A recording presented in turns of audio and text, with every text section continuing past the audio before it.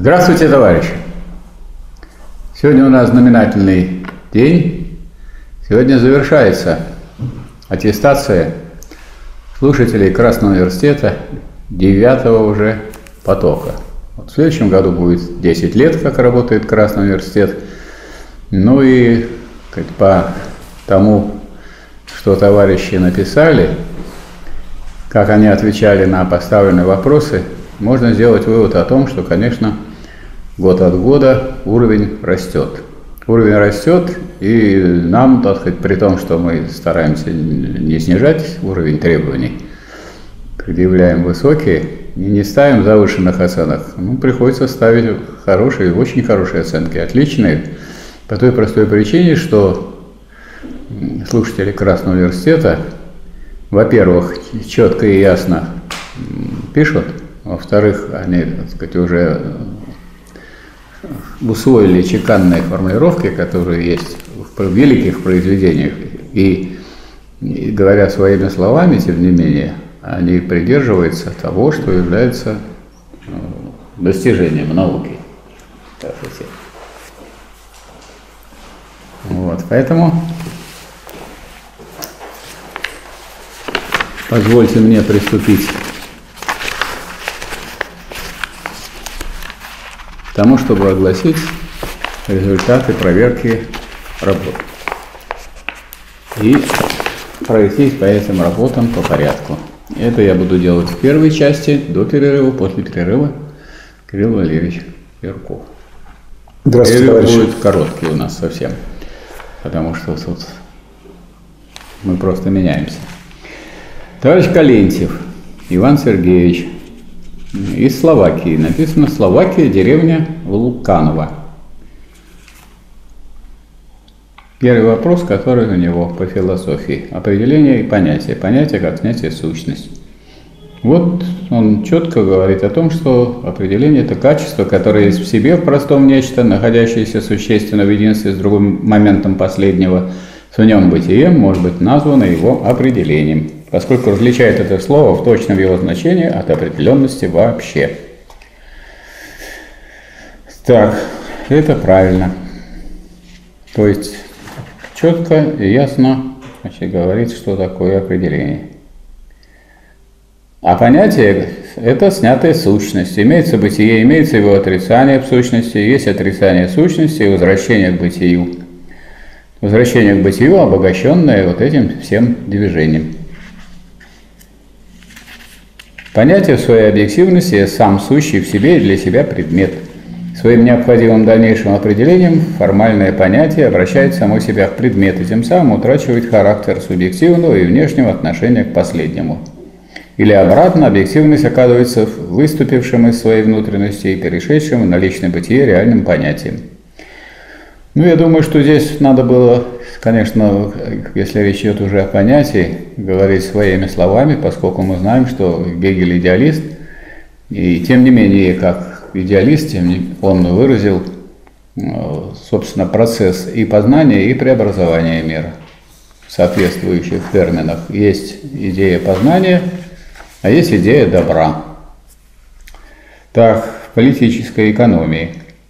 Обоснуйте положение о том, что империализм есть канун социалистической революции. Ну вот, вот э, указывает на то, что по своей экономической сущности империализм есть монополистический капитализм.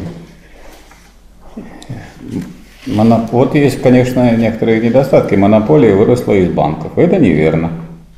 Монополия не выросла из банков. Монополия выросла из процесса концентрации и централизации производства, который идет при капитализме. Он сужает, так сказать, сферу рынка и расширяет сферу производства. Производство построено в фабрике, в началах кооперации. Кооперация – это такая форма труда, при которой много лиц полномерно работают в одном или связанных между собой процессах производства.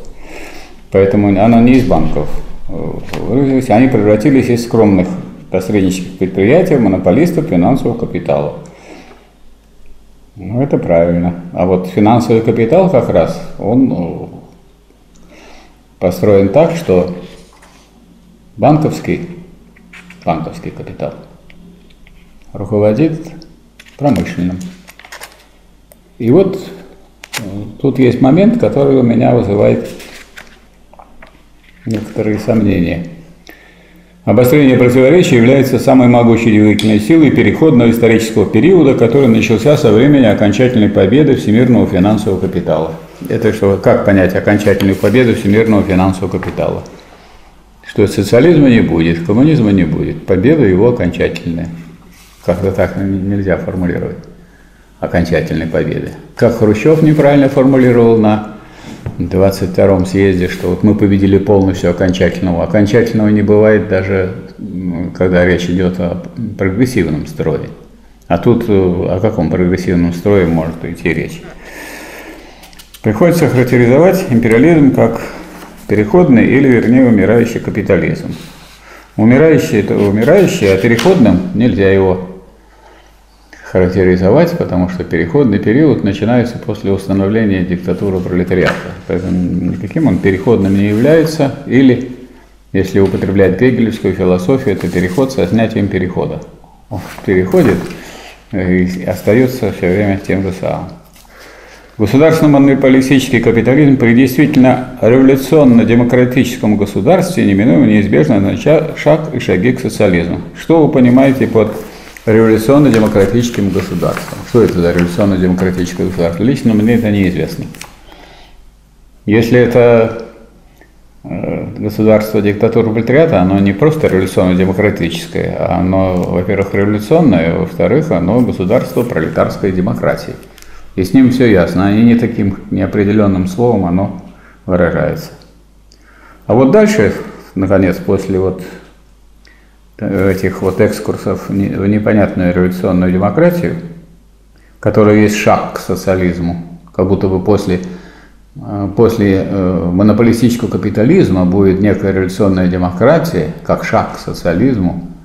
Один, два шага, один пока. А вот социализм, как говорится дальше, есть не что иное, как ближайший шаг вперед от государственно-капиталистической монополии. Социализм не что иное, как государственная капиталистическая монополия, обращенная на пользу всего народа, и постольку переставшая быть капиталистической монополией. Но этот шаг вперед нельзя сделать без социалистической революции. Вот. И дальше написано правильно, а то я хотел уже, так сказать, понижать, ну, так сказать, вышел товарищ на правильную дорогу, что старая, то есть буржуазная демократия и парламентаризм, это третий вопрос, советы и проблемы отмирания государства – были организованы так, что именно массы трудящихся всего более были отчуждены от аппарата управления советской власти, то есть диктатуры пролетариата, напротив, построена так, чтобы сблизить массы трудящихся с аппаратом управления. Ну, я поставил отлично, но с минусом. Заварен Максим Анатольевич. Теоретическая и практическая идея, абсолютная идея. Он правильно говорит, что единство теоретической идеи и практической идеи, или единство идеи истины, идеи добра есть абсолютная идея. Основные признаки империализма он рассматривает во втором вопросе. И здесь говорит о том, что монополия развивается в сфере обращения, в частности в банках. Что значит монополия развивается в банках? Это непонятно. В банках монополия не развивается. Монополия развивается, во-первых, сами по себе, а во-вторых, при посредстве банков, а потом под руководством банков, когда сформируется, когда формируется финансовый капитал. В третьем вопросе советская власть как организационная форма диктатуры пролетариата товарищ Заварин подчеркивает, что высокий демократизм диктатуры пролетариата обеспечивается устройством советской власти, при котором избирательной единицей, основной ячейкой государства становится не территориальный округ, а производственная единица, завод, фабрика. Можно поставить отлично, я поставил отлично. Кузин Игорь Юрьевич, Москва. Вот он рассматривает определение, понятие, всеобщее понятие и три момента – всеобщность, особенность и единичность. Потом э, капиталистическое производство. Капиталистическим производством называется такой общественный способ производства, при котором процесс производства подчинен капиталу, то есть который основывается на отношении между капиталом и наемным трудом. А что это такое наемный труд? Вы можете труд нанять? Я не знаю, как его нанять. Нанять можно работника. И тем самым получить, купить его способность к труду. И вот отношение будет между не вообще капиталом, а капиталистом, как воплощением капитала, и, и рабочими, как продавцами своей рабочей силы. И э, дальше, вот когда форма государственного устройства, происхождение государства, значит, что есть? Монархия есть, республика есть, парламентская или президентская, а фашистского государства нет. А что не было фашизма? Ну как так вот можно обойти такие формы, формы государственного устройства, как фашистское государство? Поэтому вот, так сказать, я хотел поставить отлично, но не могу. Хорошо. Доровской Алексей Михайлович, город Самара. Явление и сущность. Явление-свидетельство наличия закона. Свидетельство наличия закона. Что это такое за свидетельство? Где выдают такие свидетельства? Куда надо идти за этими свидетельствами? Казалось бы, уж так у Гегеля просто написано явление. Это явление закона. Зачем это вот лишние слова, свидетельство закона? Есть закон как спокойное явление, а есть явление как явление этого закона, и все. Так, вот э, в ответе на второй вопрос дайте определение капиталистического производства и понятие стоимости. Та же самая штука. Общественный способ производства материальных благ, капиталистическое производство, основанное на частной собственности на средства производства и эксплуатации наемного труда. То есть людей не эксплуатируют, эксплуатируют труд. Ну и пусть его эксплуатируют, нам-то что? Лишь бы нас не эксплуатировали. А у вас, так сказать, вы уводите в сторону вопрос. Кто будет бороться против этой эксплуатации? Пусть наемный труд и борется. А рабочим не надо. У Маркса работа была наемный труд и капитал. У Маркса после этой работы был капитал. Ну, да, да. И я думаю, что мы будем сказать, неправильно действовать, если мы будем от самого так сказать, развитого и высокого произведения двигаться назад, вспять. И у Энгельса можно еще найти, так, что здесь, скажем, стоимость, она соотносится с потребительной стоимостью, когда еще не развито было это все, не развернуто. Почему не эксплуатация рабочих, продающих свою рабочую силу? Непонятно мне. Что вы имеете в виду? Почему вы уклоняетесь от точной постановки вопроса? Так, в последнем вопросе. Вопрос исторические типы государства. Вот говорится, что социалистическое государство есть государство диктатуру пролетариата. Это правильно котором обчисляются средства производства, имеет своим назначением уничтожение эксплуатации человека человеком и построение коммунистического общества. Это неправильно. Но социализм это и же есть коммунизм. Первая фаза. Зачем его строить? А нужно строить полное коммунистическое общество. А еще правильнее будет убрать эту всю строительную технологию и понятие строительное, строить, перестроить. Сначала строить, потом перестраивать, потом обнаруживать, что вообще этого нет, того, что перестраивали. Поэтому речь идет о развитии социализма полный коммунизм и борьбе за это развитие. А борьба идет через борьбу противоположностей. То есть не надо отходить от диалектики. Мы изучали не только отдельно разные предметы, а единстве все три составные части и источники марксизма. Так, ну, оценка хорошо. Шишков Олег Николаевич. Материалистическое понимание истории. Да, тут все правильно написано. История общества – это история классовой борьбы, смена общественно-экономических формаций. Основные признаки империализма. Концентрация производства капитала, дошедшая до такой высокой степени развития, что она создала монополию, играющую решающую роль в хозяйственной жизни. Слияние банковского капитала с промышленным и создание на базе этого финансового капитала финансовой олигархии. Почему на базе финансового капитала финансовый олигарх создается? Ну как может быть финансовый капитал базой? Финансовый капитал получается в результате того, как, того что банки, банки подчинили себе основу как раз производства, основу подчинили, но они стали основой. Они верхушкой стали этого айсберга, а вовсе не его основанием. Никогда финансы или, финанс, или банки не могут стать основанием вообще какого-то производства. А вот руководить производством могут. И вот такие банки, которые срослись с промышленностью и пользуясь своими возможностями банковскими, тем, что они имеют всю информацию о движении капитала и, так сказать, внутреннюю и внешнюю, то они могут им, над ним господствовать. Тогда это будет финансовый капитал. Конец территориального раздела земли крупнейшими капиталистическими державами. Ну почему конец? Откуда взялся конец? Вместо того, чтобы написать, что территориальный размер раз, раздел мира и борьба за его передел. Никакого конца нет. Все время идут войны и все время делят монополии мир постоянно. Или крупные войны большие, или не такие крупные. Теперь говорится о назовите основные виды социалистических учений. И вот э, есть э, феодальный социализм, мелкобуржуазный, критический, утопический. А почему? А научный социализм вы не хотите назвать? И он не является видом социалистических учений? Или вы только те называете, которые были в тот момент, когда Маркс и Энгельс написали коммунистический манифест. Между прочим, с того момента, как они его написали, уже появилось социалистическое учение, научный социализм. Тем самым. Оценка хорошо. Снегирев Сергей Васильевич, город Пролетарск. Теоретическое вы или не проверяете, или это делаете ошибки такие грамматические. Это нехорошо. Это не теория, а. Теоретическая и практическая идея, абсолютная идея. Абсолютная идея единство теоретической идеи познания мира, идеи практической. Правильно. Товар. Вещь, которую можно купить или продать. Но неправильно. Определение надо давать простое. А купля и продажа – это более сложные понятия. Вам обязательно его продавать, а, а нельзя? Если он производится для обмена, этого вполне достаточно. Вполне достаточно для того, чтобы этот самый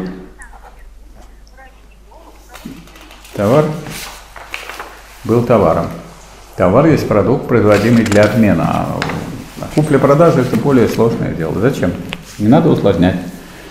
Что такое научный социализм? Научный социализм – теория, которая опирается на открытие, сделанное в философии и общественно-экономических отношениях.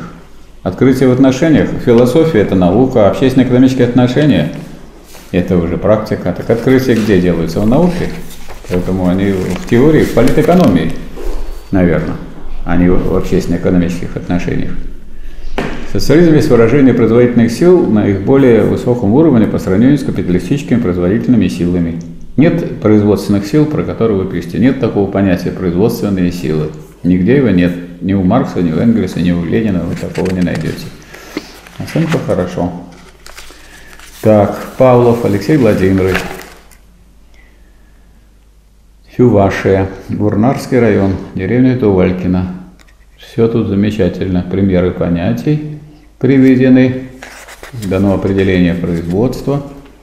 Очень прям так и написано правильно. Капиталистический способ производства – это товарное производство на той стадии производства, когда и рабочая сила становится товаром.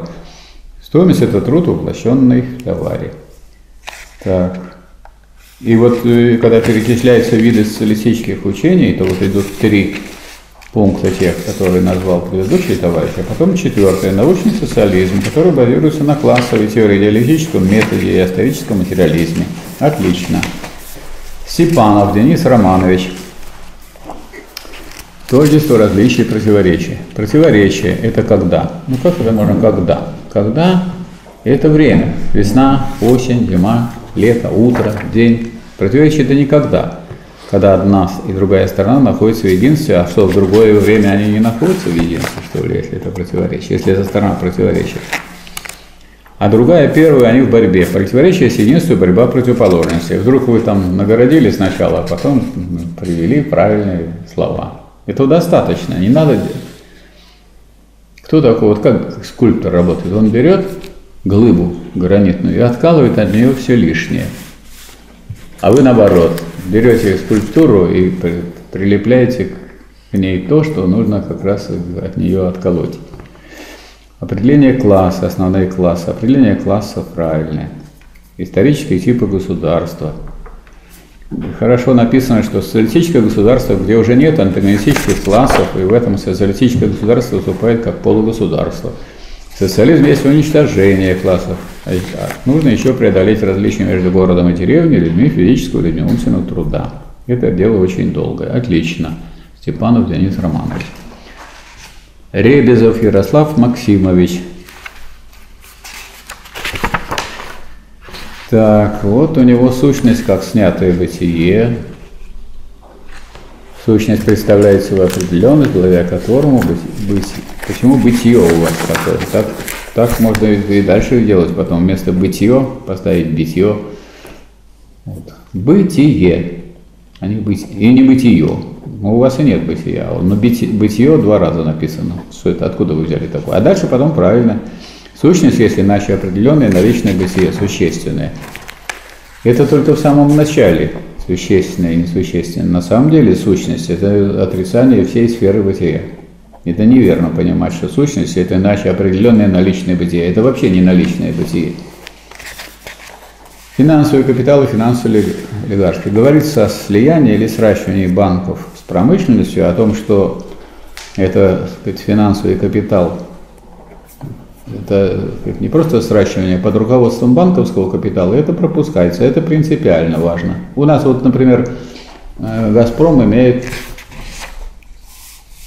банк свой, карманный. Так он под командой этого самого «Газпрома», а не «Газпром» под командой этого «Газпромбанка».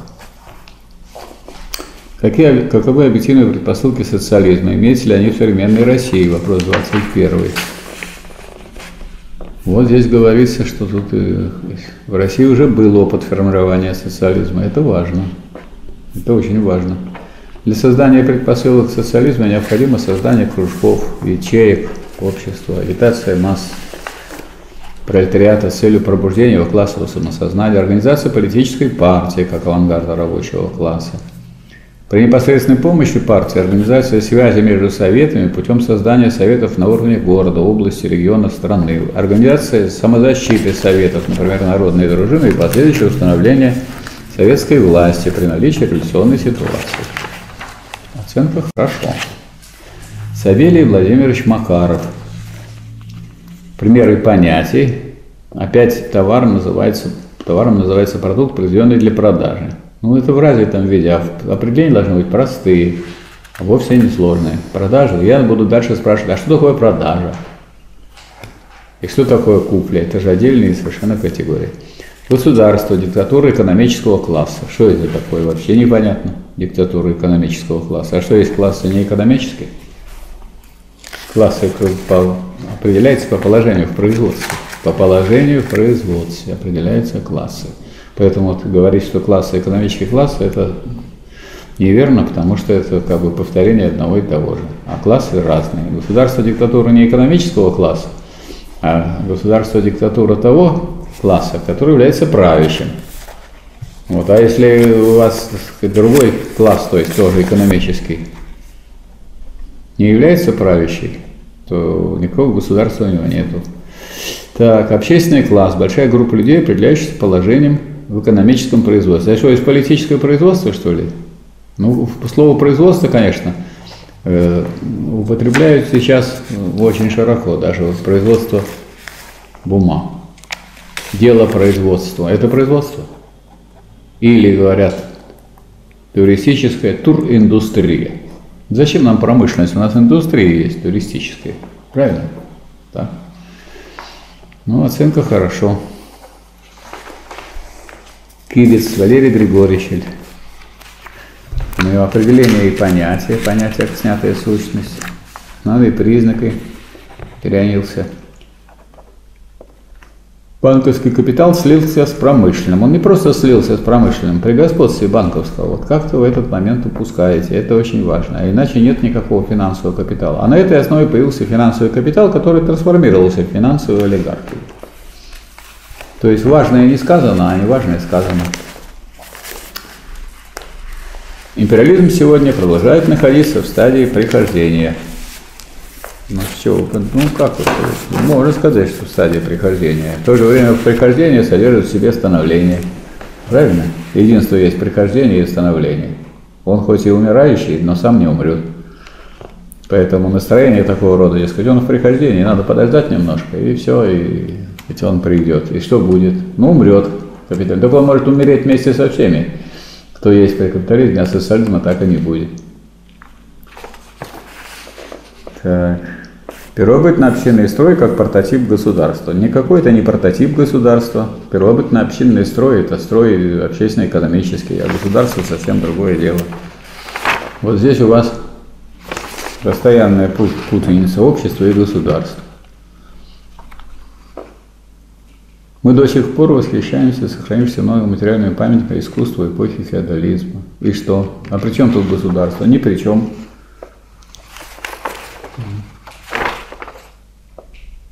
Вместо ответа на исторические типы государства вы начали рассказывать про разные э, типы общества, про общественно-экономические формации. Капиталистический тип государства – это еще более развитый тип в смысле производства материальных благ в обществе.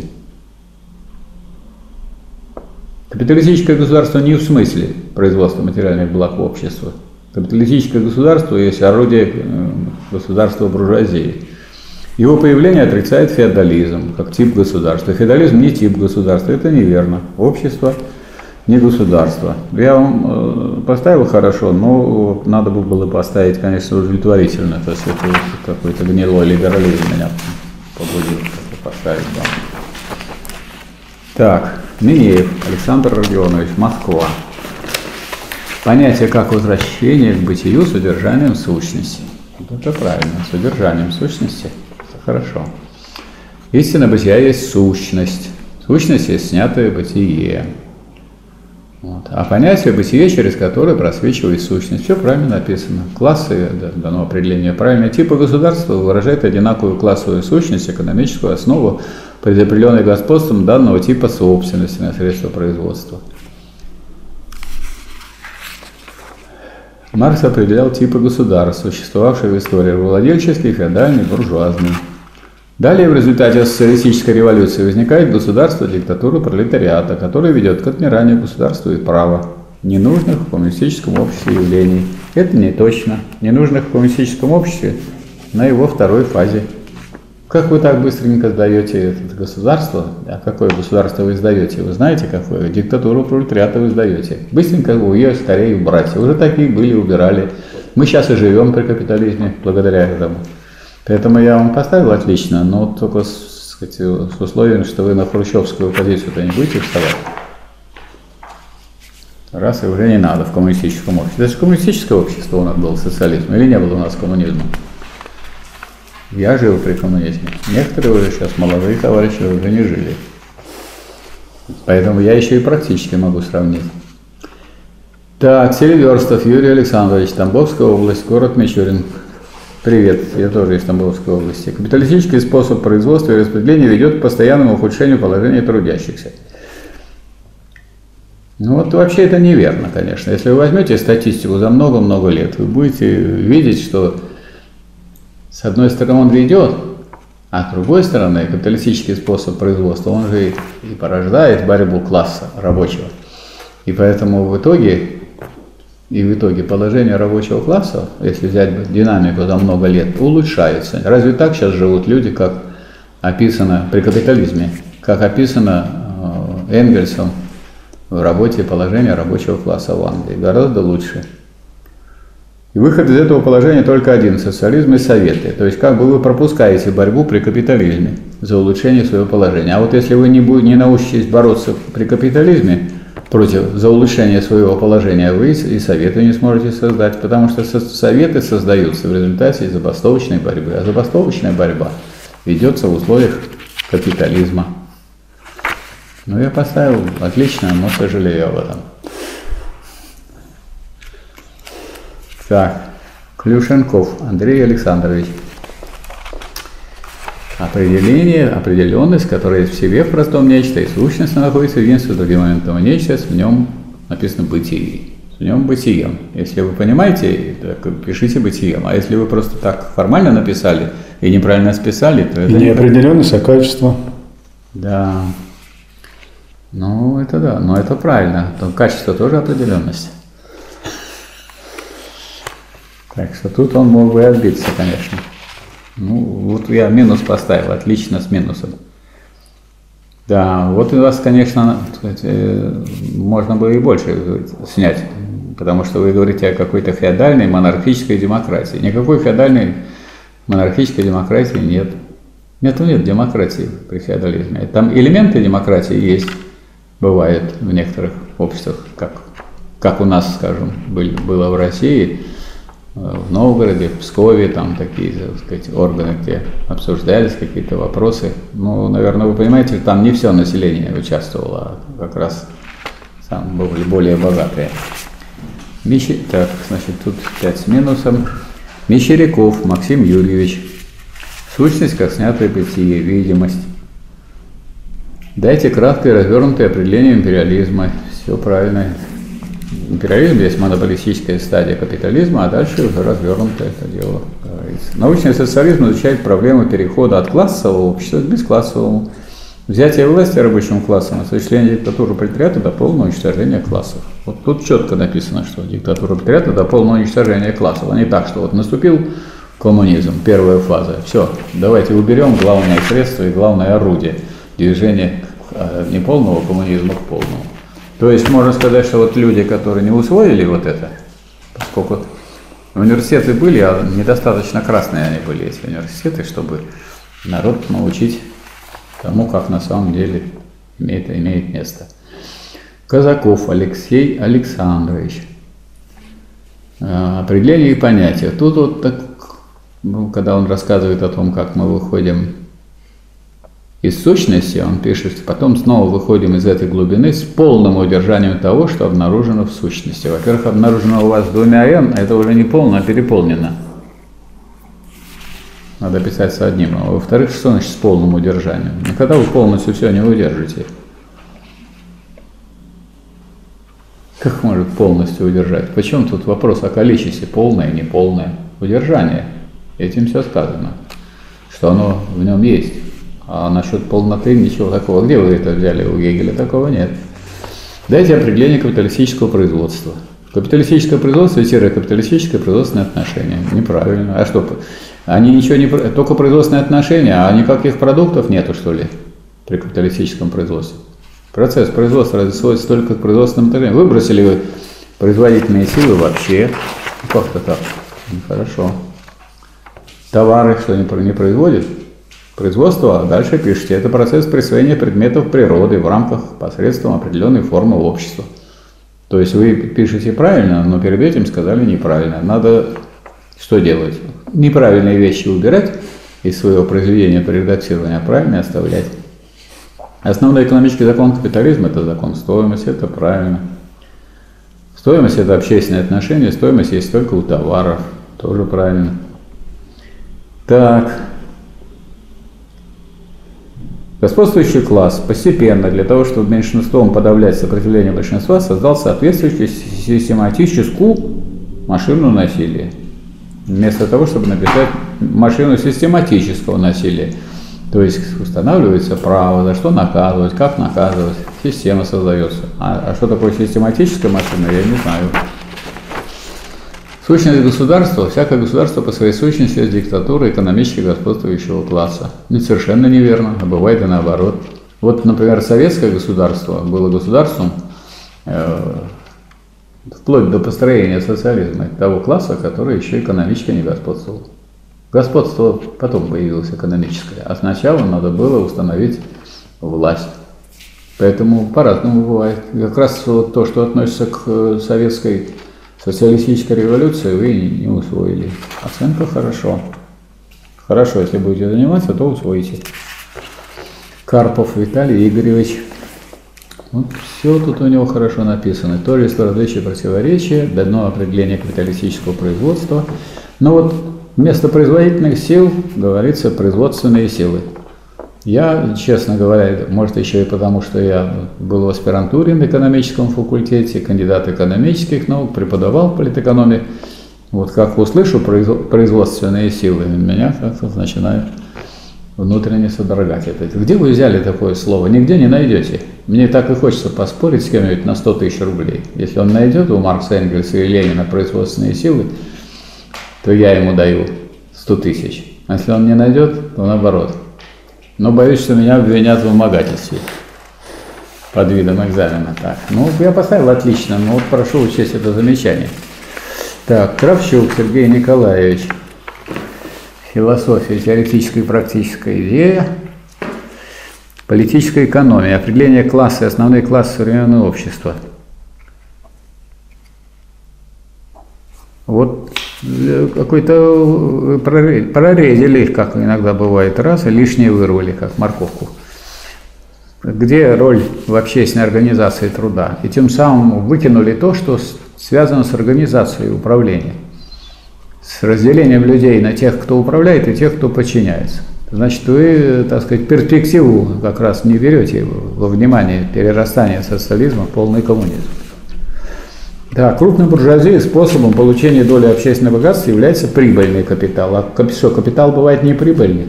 Если капитал же это самовозрастающая стоимость, зачем это масло масляное? Это чепуха какая-то. Так что это неправильно. Пять с минусом. Надо было, конечно, еще меньше поставить. Товарищ видно, что старался. Ерошек Александр Александрович. Снова финансовая олигарха, олигархия без господства банковского капитала. К сожалению, на данный момент в России нет такой политической партии рабочих, за которой бы шло бы большинство рабочих. А бывает разве такое, чтобы при капиталистическом строе, при господстве буржуазной идеологии, при, гос, при бур, э, господстве буржуазии, при мощи, так сказать, империалистического государства, прямо большинство рабочих пошло бы за партией. А что, большинство рабочих пошло за партией большевиков? Или, так сказать, большинством решался вопрос при выборах в учредительное собрание? При выборах в учредительное собрание большевики получили меньше половины, а потом взяли власть, потому что им не нужно было брать на выборах, им нужно было, чтобы завоевать большинство народа. А большинство народа нельзя завоевать, не имея в своих руках государства.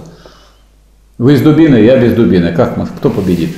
Ясно, что вы победите. Вот я у вас сначала дубину отберу, а потом сразу мы уже будем с вами мирно разговаривать демократии. Так, ну, оценку я поставил вам хорошо. Поскольку это принципиальный вопрос. Изучите работу Ленина «Выборы учредительное собрание и диктатуру пролетариата», том 40. Аксиониде Иван Сергеевич вроде так писал, все хорошо, интересно, много написал, хотя предупреждали, что не надо много, это чревато. Можно что-нибудь такое наговорить, как иногда бывает, наговоришь себе на плохое. Идеология социализма имеет многовековую историю. В своем развитии она прошла несколько этапов, начиная от утопического социализма и заканчивая современным социал-демократизмом. Но какой социал, социал-демократизм? Это что, сейчас социалистическая теория? Это и это прикрытое социалистическими сказать, словечками, это буржуазная идеология. Да. И вот, э, когда вы говорите про марксистов, вы говорите о идее, о плановом и коллективном ведении хозяйства в стороннем развитии личности. Так и хочется спросить, какую личность развивает фамилия этой личности. Как личность или всех членов общества? А у Ленина курсивом написано в программе. Всех членов общества. Так, и вот э, что получается. Социальная демократия. Экономическая демократия означает общественную собственность. Ничего подобного, не какая-то не экономическая демократия. Ничего общего. Демократия – это термин, относящийся вообще к государственной власти. Никакой экономической демократии нет как таковой. Общественная собственность – это вовсе не демократия, это отношение общества к объективным условиям производства как к своим, это деятельность в общественных интересах. Социальная демократия означает высокое качество жизни членов общества. А количество жизни не надо, только качество. Что это за такое качество жизни? А вот количество жизни. Качество было высокое, но прожил два года. Качество жизни которая характеризует степень социальной свободы человека. А что такое социальная свобода человека, а не просто свобода? И видно, что вы не знаете понятия свободы, как господство над обстоятельствами, сознанием дела. Условия содержания его труда, доступность системы образования и духовных ценностей.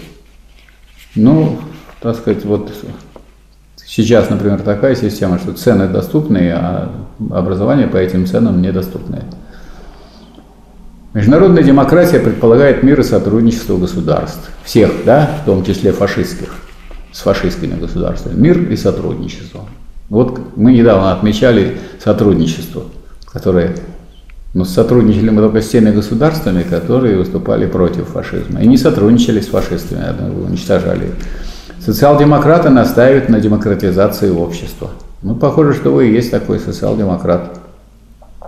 Политика социал-демократических партий, находящихся у власти, отличается большой социальной направленностью и борьбой за социальную справедливость. Политика современных социал-демократических партий – это буржуазная политика, которая осуществляет диктатуру пролетариата. Вы не разобрались в этом и, так сказать, поддались на э, обман буржуазной идеологии. Я вам поставил неудовлетворительный. Почитайте Ленина. Выборы в учредительное собрание и диктатуру пролетариата. Вам, вам, товарищ Аксянид Иван Сергеевич, неудовлетворительно. Ларионов Валерий Алексеевич. Материалистическое понимание истории. Правильно говорится о производственной, воспроизводственной непосредственной жизни. Основные признаки империализма. Энгельс утверждал, что превратить социализм в науку необходимо поставить его на реальную почву, а почва это является производство жизни – Движение общества к социализму они связывают с разрешением противоречия при капиталистическом производстве между общественным производством и капиталистическим присвоением. Не имея в основе учения о социализме, материалистического подхода и позиции на стороне пролетариата имеет место различия антинаучные социалистические учения. По-особому рассматривает социализм социал-демократические партии. Вот здесь ответ предыдущему товарищу. Они ратуют за демократический социализм, Бранд или Бранд. Ведется речь о неосоциализме. Однако все это не показывает путь устранения главного противоречия капитализма, противоречия между общественным характером производства и частной формой присвоения. Борьба противоположных позиций в общественном производстве капиталистов и пролетариата неизбежно ведет к революционному преобразованию общества капиталистическое в социалистическое. Так, отлично, товарищу Ларионову. Бек Маматов Азат Акылбекович. Очень хорошо все сделал. Определение это качество, но пропущено, которое есть в себе бытие в простом нечто, а так написано правильно. Что такое финансовый капитал? Это монополистический банковский капитал, срочный и управляющий монополистическим производственным капиталом. Вот это очень хорошо. Взял и написал товарищ, просто и ясно. Научный социализм. Государство – это инструмент разрешения или уничтожения противоречия в классовом обществе. Это неправильно. Почему только в классовом обществе? Социализм – классовое общество или бесклассовое? Социализм – это уничтожение классов, то есть слово уничтожение класса должны превратиться в ничто. Социализм противоположен делению на классы, поэтому он классовым обществом не может считаться, потому что классы уже уничтожены в основном. Поэтому низшая фаза бесклассового коммунистического общества, такая, при которой еще сохраняется, сохраняются отдельные признаки классов. В основном только классы уничтожены, а надо уничтожить не в основном, а полностью. Полное уничтожение классов предполагается. Отлично. Антипов Иван Сергеевич, город Москва. Философия, материалистическое понимание истории, основные признаки империализма, научный социализм. Основной выборной единицей является не избирательный округ, а производство, фабрика, завод, колхоз. Вот вы пропустили очень важный момент, который взяли вы это положение из программы партии, которая имеется в приложении к 38 тому полного собрания сочинений Ленина. Там говорится, основная избирательная, не выборная, а избирательная единица, но это допустимо. И основной ячейкой государства является не избирательный округ, а производственная, а производственная единица, а не вообще производство.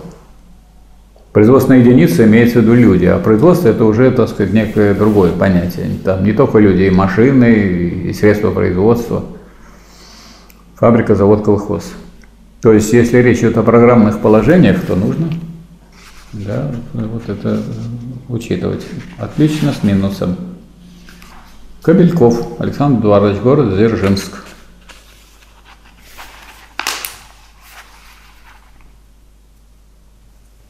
По-моему, он раньше назывался Рассятина, и поэтому его переименовали. Так Дзержинска называют. Так, Теоретическая практическая идея, абсолютная идея. Когда речь идет об идее «и», почему об идее «и», а не об идее «е»? Ну, как-то вот каждый, кто пишет хоть не маленькую рукопись, хотя бы на полторы страницы, должен потом ее прочитать. Я, например, вот могу поделиться, что когда я отправляю электронную почту, я всегда прочитываю, все я отправляю. Если бы я этого не прочитывал, я не знаю, что было бы. И это получилось, что я много всяких глупостей рассылал бы широко. Надо прочитывать и исправлять. Советская власть как организационная форма диктатуры пролетариата. Диктатура пролетариата опирается на организованность рабочего класса в процессе труда на фабриках и заводах, который превращается в избирательные округа Совета. Никогда, никогда не в округа не превращается. Округа – это понятие, относящееся к территории, а не вовсе не к предприятиям. Вам Ленин пишет производственные единицы, а нет округа. Что вас заставляет округ такой очерчивать по территории? Вот, э, сказать, собственно, вы, получается, какой вы точки зрения придерживаетесь, что производственная единица или округа? А от производственных единиц выбирается депутат. И тут же вот правильно пишете. Так вы выберете, где ваша позиция, и стойте на ней. Я поставил вам отлично, имея в виду, что вы поправите это все. Так, Шашин Игорь Алексеевич, Ленинград философия материалистическое понимание истории. Исторический материализм подходит к изучению истории с материалистической точки зрения. Политическая экономия. Не указано, что вот э, финансовая олигархия при господстве банковского капитала формируется. Существует государство диктатура владельцев, феодалов, буржуазии и пролетариата. Сущность государства. Вот. А получается, что у вас Смотрите, что вы написали. Сущность государства состоит в организованном подавлении эксплуатируемых классов эксплуатирующими. И что, э, рабочий класс, когда вот диктатуру прятал, он что, эксплуатирующий, что ли? И эксплуатирует буржуазию? Нет, так не годится. Сущность государства буржуазного состоит в подавлении эксплуатируемых классов эксплуатирующими, а сущность пролетарского государства не, не только состоит в подавлении буржуазии, но всех поползновений к тому, чтобы вернуться в буржуазное общество. Когда оно перестает это подавлять, тогда вот эти все тенденции буржуазные подавляет государство. Оценка хорошо, с учетом, что вы это учтете. Войтович Антон Михайлович. Капиталистический способ производства, товарное производство на той стадии, когда рабочая сила становится товаром. Стоимость только я хотел вас сильно похвалить, а у вас написано не овеществленный в товаре абстрактный человечек, а обвеществленный, прямо весь он, прямо со всех сторон обвешенный. Ну, как это надо считать, то, что вы пишете. И не политическая теория у вас марксизма, а политическая, уже полетела она. Эта теория. Ну как-то, я поставил вам хорошо. Вообще вы читайте то, что вы отдаете или рассылаете по, по всему миру. Нас же сейчас все слушают и все смотрят. Ни для кого это не секрет.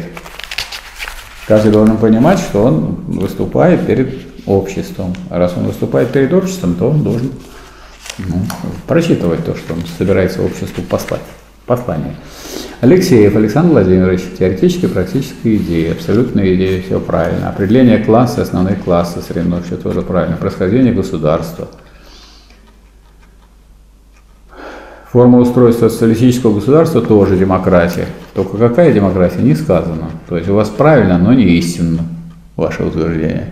Видите, вы за истину боретесь или за правильность? Если вы будете останавливаться на правильности, ну вот я поставил вам отличное с минусом, но вот имейте в виду.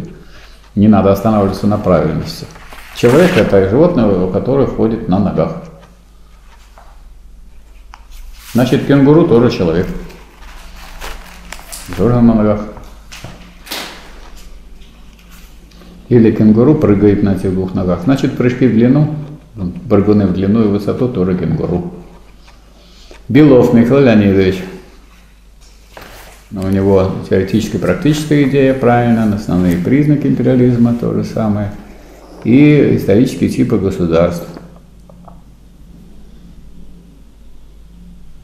Диктатура пролетариата – для социализма характерно, вот у него подчеркивается. Таким образом, отсутствие антагонистических классов, на которые происходит отмирание государства и переход к полному коммунизму. Высоковских Сергей Владимирович. сущность как бытие. Дать определение капиталистического производства, он пишет, стоимость товара – это общественно необходимое рабочее время. То есть стоимость – это время. Так? Рабочее, нерабочее, но это время. Так стоимость – это не время. Это характеристика, характеристика труда в условиях товарного хозяйства, а не просто время. Не время не любого труда. Вот если кто-то работает, сколько он не работал у себя на участке, никогда это не будет стоимость, если он не работает для того, чтобы продать эти огурцы или помидоры, которые он вырастил. Правильно? Только если он работает с целью, вот если цель его труда, цель производства состоит в том, чтобы потом обменять, то есть производить с целью обмена, тогда его труд, а соответственно и время рассматривается как стоимость.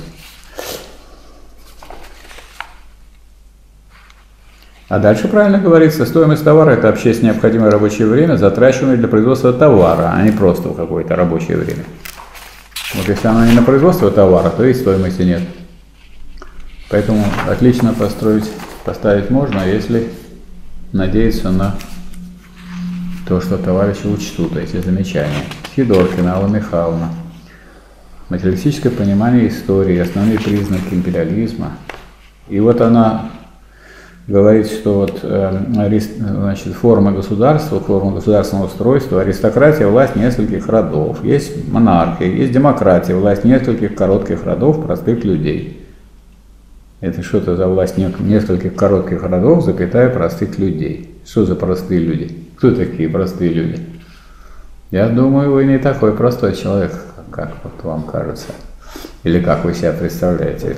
Как вы так вот умудрились в Красном университете поставить, ставить, отвечать на вопросы и не сказать, что есть буржуазная демократия, а есть пролетарская демократия. Буржуазная демократия – власть меньшинства. Пролетарская демократия – власть большинства народа. Большинства. Емельянов. Так, оценка поставил я какую? Удовлетворительно я поставил троечку. Это центральный вопрос, ключевой. Как это так? Просто какая-то демократия. Емельянов Алексей Александрович. Тождество, отличие, противоречия. Вот.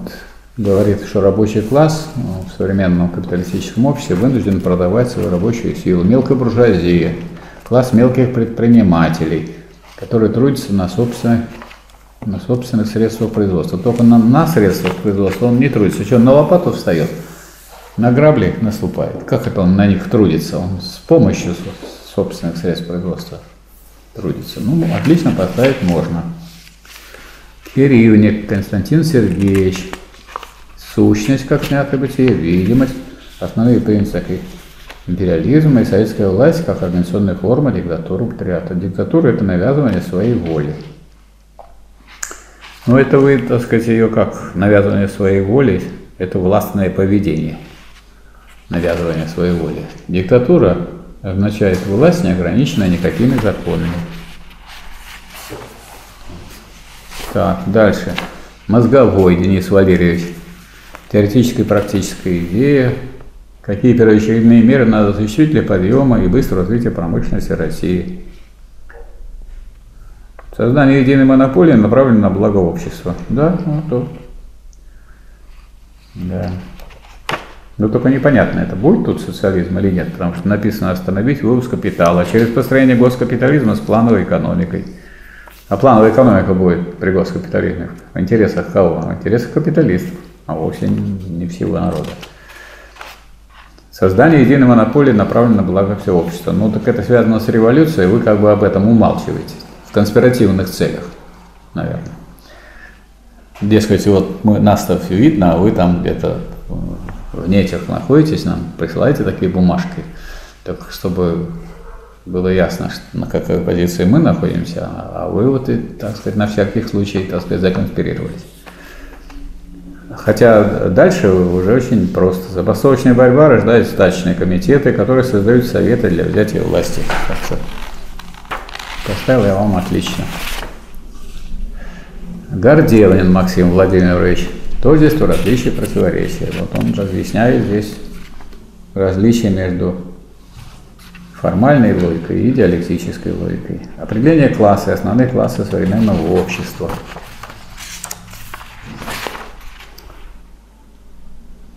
Советская власть как организационная форма диктатуры пролетариата. И дает соответствующие выдержки.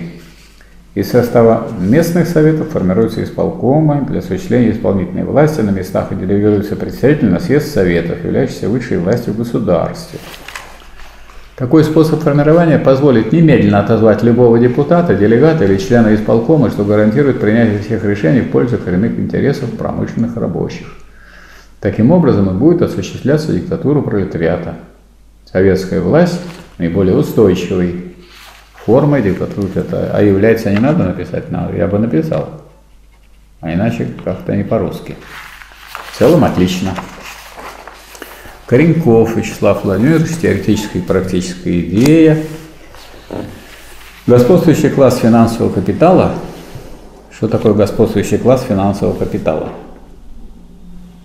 Господствующий класс капиталистический, возведший свою волю в закон, систематически увеличивает цену на все товары, кроме стоимости рабочей силы. Что, он цену на, на стоимость рабочей силы увеличивает? Что за ерунда? на все товары, кроме товара рабочей силы, а не стоимость рабочей силы.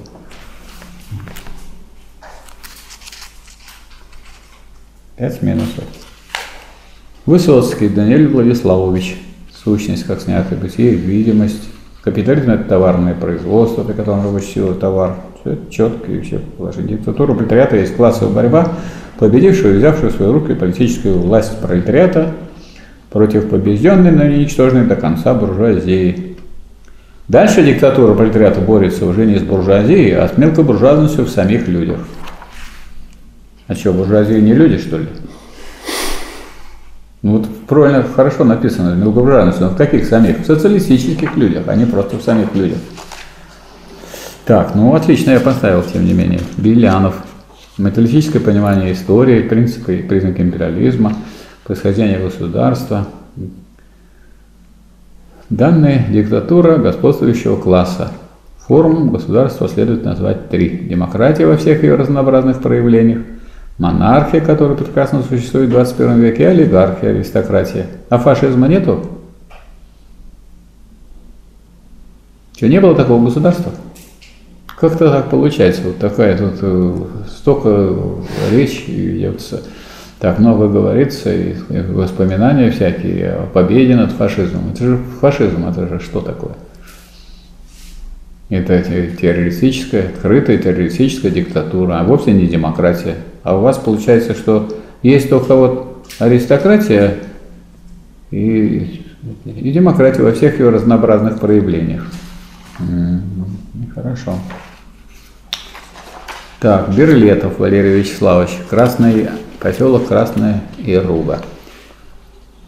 Философия, определение понятия, политическая экономия, стоимость, если овеществленный в товаре, общественный труд товаропроизводителей. Это очень хорошо. Товаропроизводителей, а не вообще любой труд. А вот э, товар – это вещь, которая производится не для собственного потребления, а для продажи. Это нагружаете вы зря определение. Для обмена. Будете вы продавать или так просто обменяете – я вам дам страничку, вы мне книжечку. Вот и все, обмен состоялся. Я страницу произвожу, чтобы за них книги получать. Так? Почему обязательно деньги тут должны быть? Не обязательно. Алымов Андрей Александрович. Товар, продукт, производимый для обмена. Вот он четко и ясно пишет. Учитесь. Каманицына Галина Анатольевна. Теоретическая и практическая идея. Если мы не познали мир, мы не можем его преобразовать. Правильно. Национал-социализм – тоталитарная ультраправая идеология, являющаяся формой фашизма с элементами расизма и антисемитизма. Национал-социализм – это не идеология. Национал-социализм –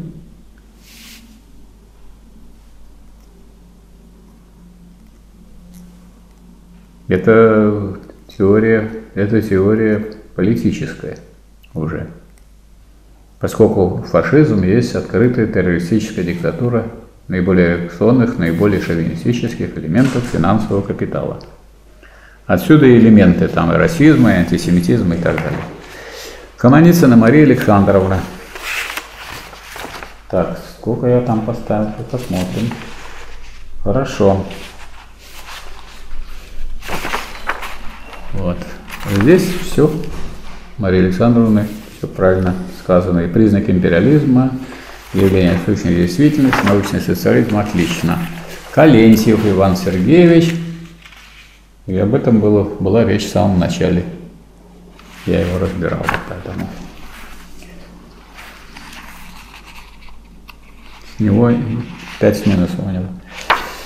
Так, все, у меня все. Я свое бразды, правление передаю другому экзаменатору Кириллу Валерьевичу Веркову.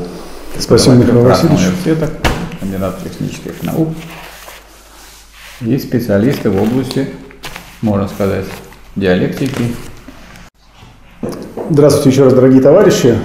Хочу сразу же отметить, что, видимо, наш проректор, товарищ Мордовин, решил проверить преподавателя Красного университета и некоторые работы выслал и Михаилу Васильевичу, и мне. А, но вот так получилось, что мы выставили за них одни и те же оценки, к счастью или к несчастью.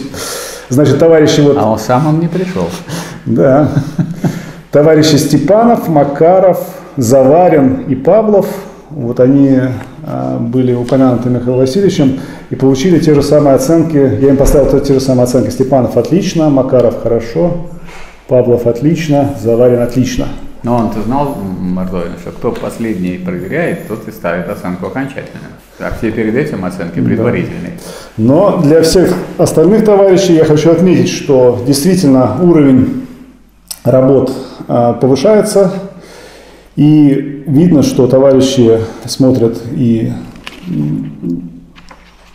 предыдущие записи Красного университета и активно читают Первоисточники вот такого откровенного списывания с каких-то плохих, э, с плохих книг и с плохих энциклопедий я да, мало стало. Да, не увидел. Вот там какая-то одна работа была, но мы до нее дойдем. Ну, давайте я пройду по тем работам, которые мне удалось проверить. Значит, была одна работа, с которой я начну. Некто Роман без подписи. Роман решил остаться анонимным. Фамилии нету, поэтому не знаю, кто такой Роман, работа не проверена. Так что Роман, если вспомнит свою фамилию, он ее напишет и вышлет работу свою еще раз. Усатюк Алла Александровна. Алла Александровна отвечает на вопрос о материалистическом понимании истории – и пишет, только основоположники марксизма постигли общественное производство не только как производство материальных благ, но и вместе с тем и производство общественных отношений. Что такое производство общественных отношений? Непонятно. Э, способ производства материальной жизни обуславливает социальный, политический и духовный процессы жизни вообще. Что такое материальная жизнь? Что за способ производства материальной жизни? Просто жизни, наверное. Так, второй вопрос. Вы говорил непосредственной жизни. Непосредственной жизни, да. Без всяких других. Да. При анализе классовой структуры, так, определение класса и основные классы современного общества. Только определение не класса, а определение классов. Не бывает одного класса, потому что если мы общество классифицируем, то их как минимум два. Нельзя сказать, что только один класс. Что это такое? Классы.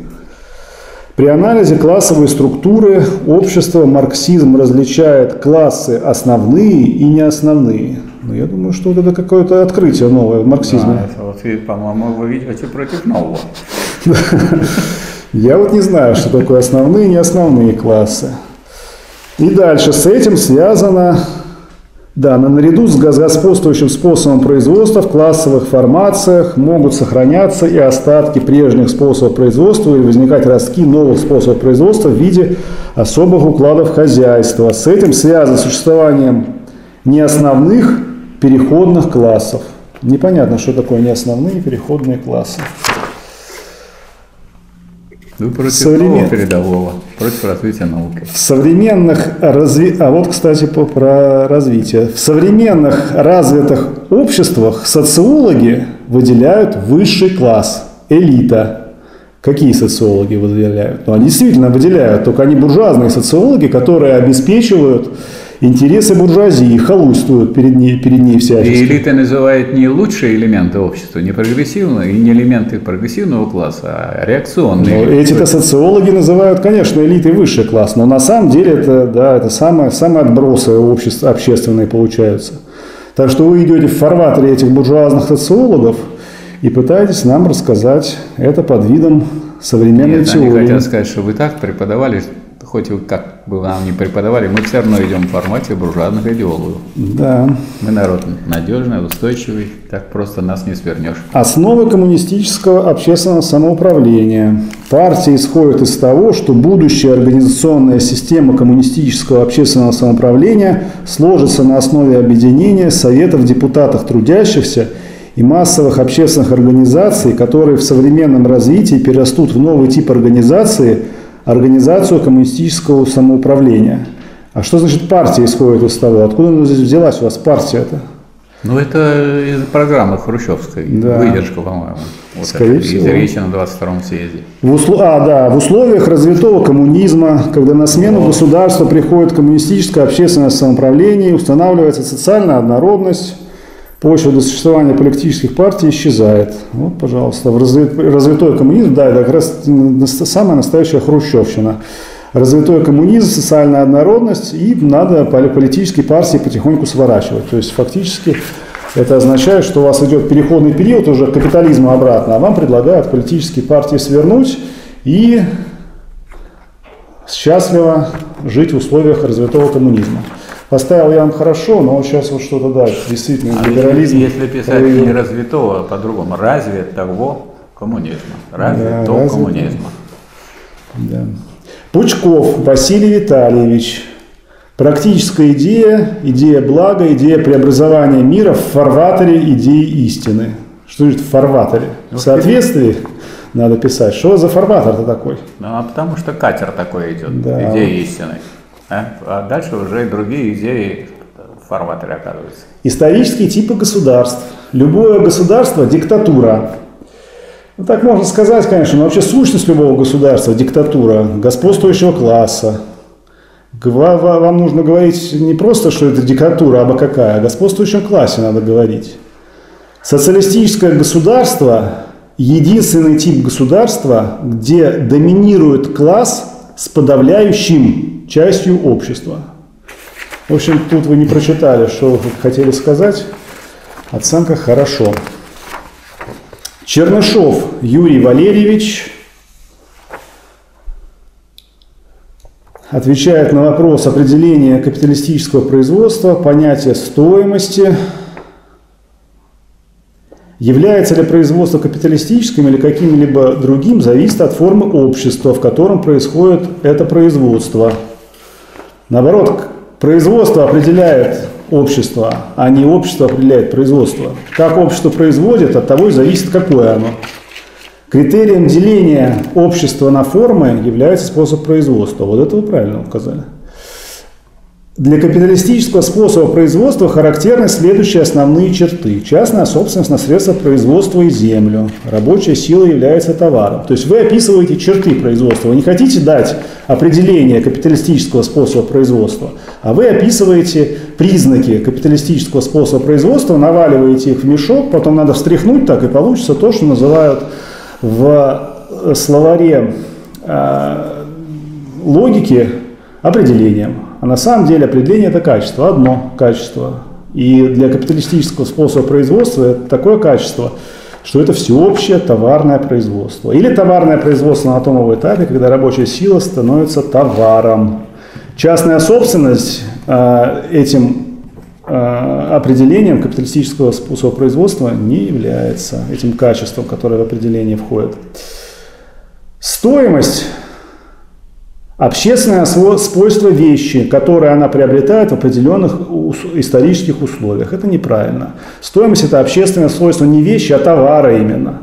То есть вам нужно, когда мы говорим о стоимости, мы говорим о товарах. Если мы говорим, скажем, о вещах, произведенных при э, социализме или при полном коммунизме, то никакой стоимости нету. Советы и проблема отмирания государства. Но без диктатуры пролетариата, то есть без государства, свою классовую борьбу рабочий класс до конца довести не может. Это правильно. Поэтому диктатура пролетариата, а соответственно государство рабочих, должны существовать до полного перехода к бесклассовому обществу, то есть к такому обществу, где уже нет различий между рабочими и нерабочими в общественной организации труда. И это неверно. Потому что если вы говорите, что полный переход к бесклассовому обществу, так социализм и есть бесклассовое общество, в котором еще классовые различия преодолены не полностью. Поэтому вам э, диктатура пролетариата нужна только на переходный период от капитализма к социализму. Это неверно. Оценка хорошо. Орлянский Виталий Валентинович. Теоретическая и практическая идея, абсолютная идея, товарищ отвечает на вопрос. Дальше отвечает на вопрос об кратком и развернутом определении империализма, в чем э, выражается паразитизм и загнивание империализма, и пишет, вывоз капитала – это паразитизм в квадрате. Что значит в квадрате? Почему не в кубе или в четвертой степени? Непонятно. Появление рантье живут за счет процента от капитала, за счет ростовщичества. Монополия получает монополистическую прибыль, тенденция застоя. Подкуп рабочих. Что значит подкуп рабочих? Вы имеете в виду появление... Ну, мало платят им. Да. Наверное, это называется подкупом. Дать им мало денег. Видимо, видимо, да. И они тогда полюбят себя. Так. Советы и проблемы отмирания государства более высокая ступень демократии исполняются интересы большинства, а не меньшинства. Но это вот какие-то благопожелания. Каким образом выполняются интересы большинства при э, советской власти, вы не пишете. Советы включают принцип, принцип самоорганизации и самоуправления. Ну, это хорошее рассуждение о советах. Э, причем самоорганизации такой вот принципа, как в советах, как принципа самоорганизации и самоуправления нету. Совет – это территориальные органы, избираемые по заводам и фабрикам. Оценка хорошо. Пластинин Михаил Андреевич. Тождество, различия и противоречия. Вы пишете, что противоположность – отношения тождества и различия. Вот у Гегеля написано, что противоположность – это единство, тождество и разности, а не отношения тождества и различия. Так. Основные признаки империализма указаны верно. Каковы объективные предпосылки социализма, имеются ли они в современной России? В процессе развития капитализм происходит, капитализм, в процессе развития капитализм, капитализма, наверное, происходит усиление обобществление производства. То есть у вас тут с падежами и с окончаниями вообще все плохо – Появление монополистического капитализма в России данный элемент имеется. Например, железными дорогами владеет один монополист. Добыча нефти и газа тоже практически монополизирована. То есть вы сводите э, монополистическую стадию капитализма, вы хотите доказать, что Россия имеет э, элементы монополистической стадии капитализма. А вам не, не приходило в голову, что империализм – это мировая история, Значит, э, империализм он во всем мире, поэтому доказывать, что вот именно в России имеется, имеются какие-то монополии, хотя, конечно, они там имеются, совершенно не нужно. Поскольку, поскольку империализм э, это все, все, весь мир разделен сейчас на два лагеря, на империалистический лагерь и социалистический, то доказывать, что вот именно в России есть там железными дорогами владеет один монополист э, для того, чтобы это было предпосылкой социализма, совсем не нужно. Наличие организованного пролетариата, готового к борьбе, вот это правильно, это объективная посылка именно в России. В современной России пролетариат находится на начальной стадии организации в борьбе за свои права, хотя уже сейчас существуют успешно действующие профсоюзы и успешные забастовки. Но это можно действительно отнести к объективным предпосылкам социализма. Оценка хорошо. Раскатов Андрей Владимирович отвечает на вопрос о кратком определении империализма и пишет, империализм есть господство финансового капитала. Ну, вот это не совсем краткое определение империализма. Краткое определение – это что империализм – это монополистический капитализм. И действительно, господство финансового капитала имеет место при этом, как э, одна из, одна из определяющих его, один из определяющих моментов. Но это не только. Если мы говорим о кратком определении, то надо просто сказать, что империализм есть монополистическая стадия развития капитализма. Паразитизм и загнивание империализма выражаются в монополии, которая находится в общей обстановке капитализма, товарного производства, конкуренции в постоянном безысходном противоречии с этой общей обстановкой. Поскольку устанавливается хотя бы на время монопольные цены, постольку исчезают до известной степени побудительные причины к техническому, а следовательно ко всякому другому прогрессу, движению вперед, постольку является далее экономическая возможность искусственно задерживать технический прогресс. Вы как-то свели весь паразитизм и загнивание империализма только к монополии и как бы к ее, к ее свойствам. А если вы вообще посмотрите более широко на те э, явления, которые происходят в сегодняшнем мире, э, их множество, и все они, э, это и действительно и существование так называемых рантье, и более там в социальной жизни, если вы посмотрите, та, та обстановка, которая там происходит э, в Европе, эти там э, ЛГБТ-движения, это что, не загнивание капитализма, это не разложение э, империализма, это нельзя отнести к, к этим явлениям. И вот как-то все вокруг монополии и все. А других как будто бы... А войны, которые идут, это не загнивание империализма, а фашизм на экспорт. Это не загнивание, не паразитизм империализма. А голодают люди, которых можно бы в соответствии с тем уровнем развития производства уже можно было бы давным-давно накормить. Это не паразитизм и загнивание империализма. Как-то вы очень узко подходите а переход к, к монополиям – это не шаг к социализму в условиях капитализма? Да, это шаг к э, социализму, так что это не, не совсем загнивание.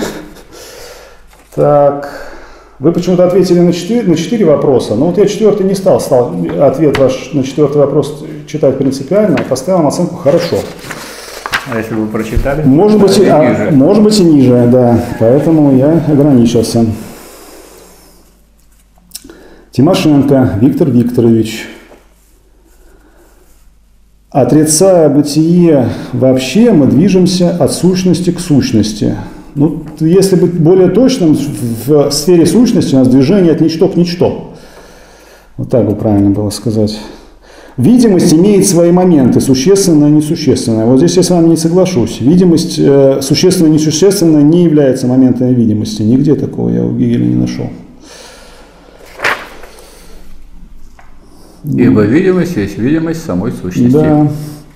Государство возникает с возникновением классов и классовых противоречий в рабовладельческом обществе и существует до полного уничтожение классов и классовых противоречий. Ну, я бы сказал не классовых противоречий, а классовых различий, вот если в конце тут поправить. А все остальное да, мне понравилось в вашем ответе, поэтому я поставил отлично.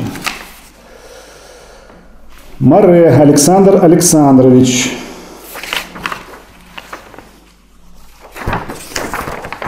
Материалистическое понимание истории хорошо изложено. Назовите основные признаки империализма, тоже правильный ответ. Видно, что товарищ читал работу Ленина. Исторические типы государства. Да, и вот здесь товарищ пишет. Первые три типа – это государство, где власть принадлежит эксплуататорским классам. Он имеет в виду э, гробовладельческое государство, феодальное государство и буржуазное капиталистическое государство. Последний тип государства, социалистическое государство, власть принадлежит пролетариату и его представителям. Ничего себе. То есть власть принадлежит в социалистическом государстве не классу рабочему, а его представителям, а оказывается. Поделились представителями. Да. Половина власти у пролетариата, а половина... То есть вы призываете, что пролетариат передал свою власть, как класс, передал власть своим представителям. Ну так он это и сделал, собственно говоря, в Советском Союзе. А и эти представители эту власть забрали совсем и стали капиталистами. Оказались капиталистами по итогу. Да. В социалистическом государстве классов нет. Вот это здорово. Это правильно. Но э, что это? Классов нет, но, но классовые отличия, различия это остаются. То есть нельзя говорить просто, сказать, что социалистическое государство это бесклассовое государство. Этого просто сказать нельзя. Надо сказать, что они классы есть в своем уничтожении, да, и все будет в порядке. Да, вот надо это обязательно отмечать. И его цель – построение бесклассового коммунистического общества. Бесклассового общества или полного коммунизма. Вот так бы правильно. Потому что социалистическое, социалистическое, в социалистическом государстве это есть коммунистическое общество в первой его фазе. Мура, так, оценка хорошо. Мурашко Данила Андреевич. Определение и понятие. Определение есть качество в себе, в простом нечто, находящееся в сущностном единстве с другим моментом этого нечто, в нем бытием. Да, ну вот вы отвечаете, как в математике так принято. То есть сначала сказать, что мы определяем, а потом определить это. А если мы говорим про движение в диалектике, то Сначала мы определяем что-то, а потом даем ему название. Поэтому лучше написать, что качество, которое в себе, в простом нечто, существенно находящееся в единстве с другим моментом этого нечто в нем бытием, называется определением или есть определение.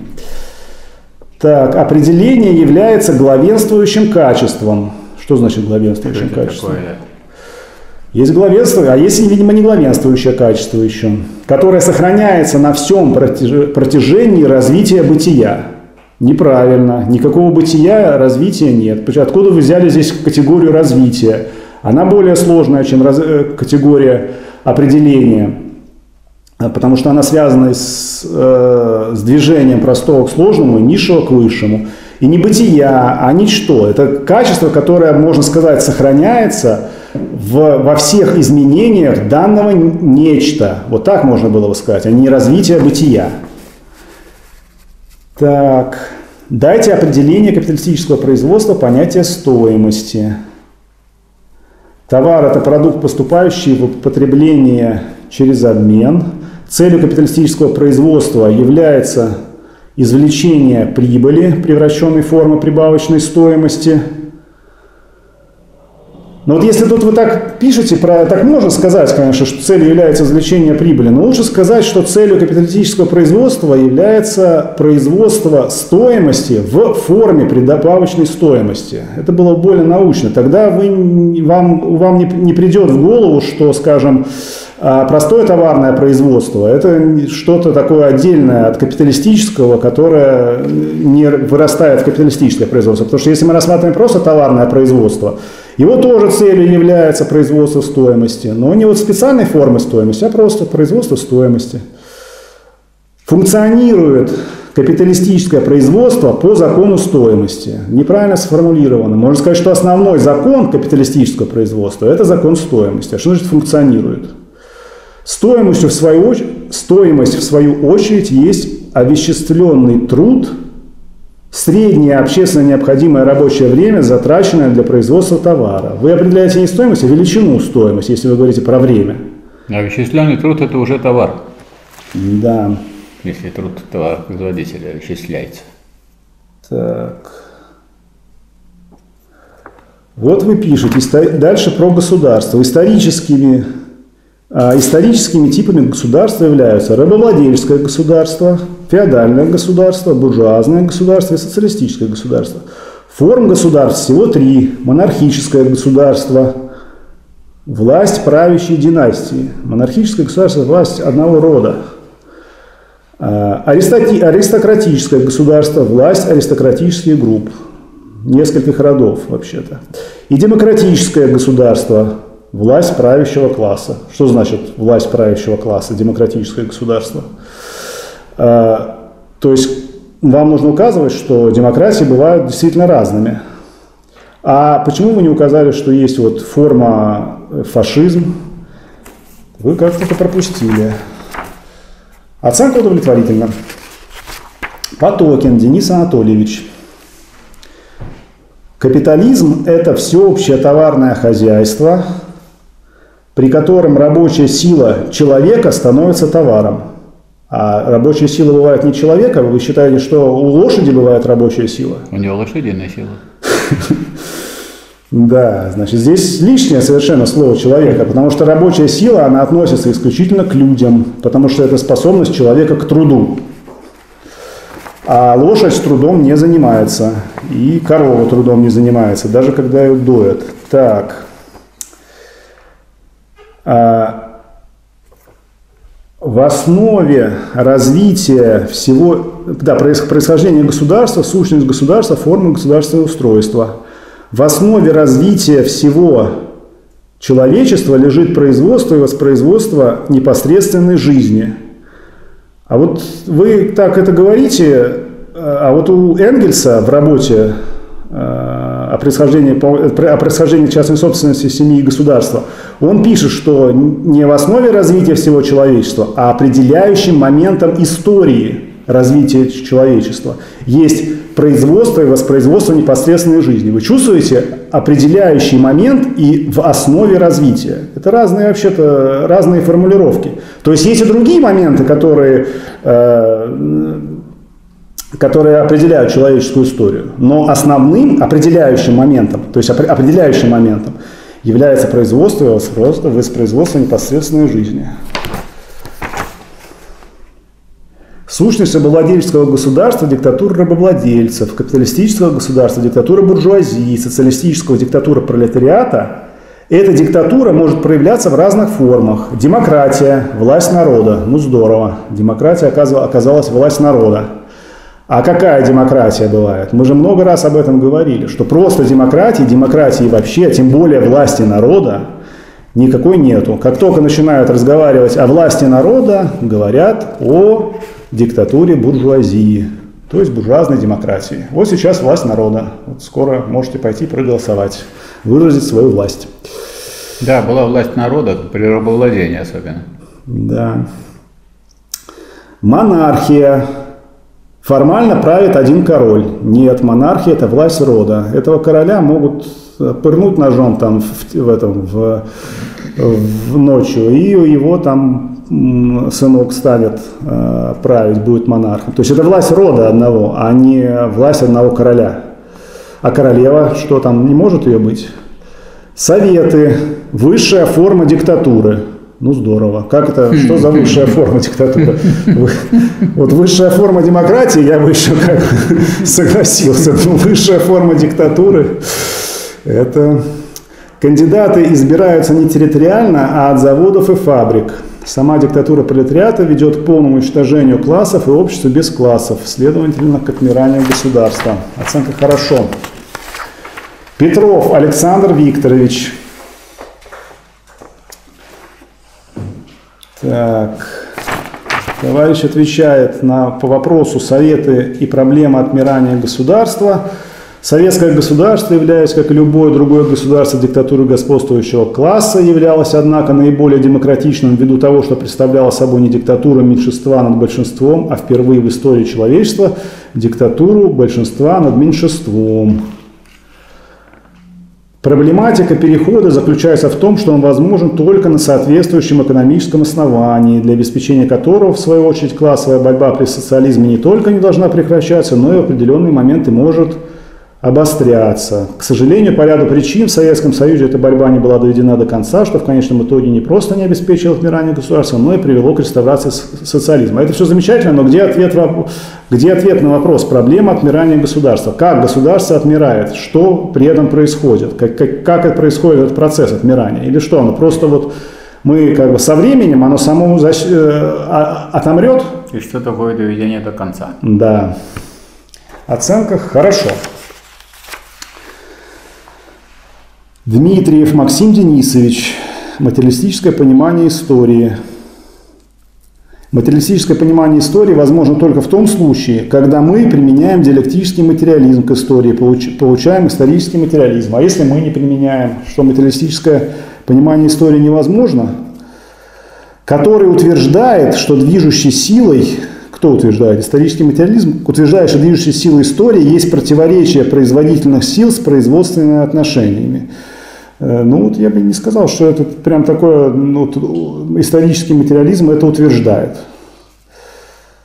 Для понимания этого нам помогают такие категории, как количество, качество и мера. Каким образом эти, это нам категории помогают, непонятно. Не помогают. Мне не помогли эти категории, да. Так. Капиталистическое производство, всеобщее товарное производство, при которой рабочая сила становится товаром. Производство, при которой, при котором рабочая сила становится товаром. Так, ну что такое научный социализм? Такое учение, которое находит ту материальную силу рабочий класс, который заинтересован в призывании общества и как рабочий класс может эти изменения произвести. Да, вот это хорошо вы заметили, потому что, говоря о научном социализме, тут товарищи не понимают зачастую, чем он отличается от других видов социализма. Оценка хорошо. Чекалов, Спиридон Александрович. Империализм – это высшая стадия капитализма.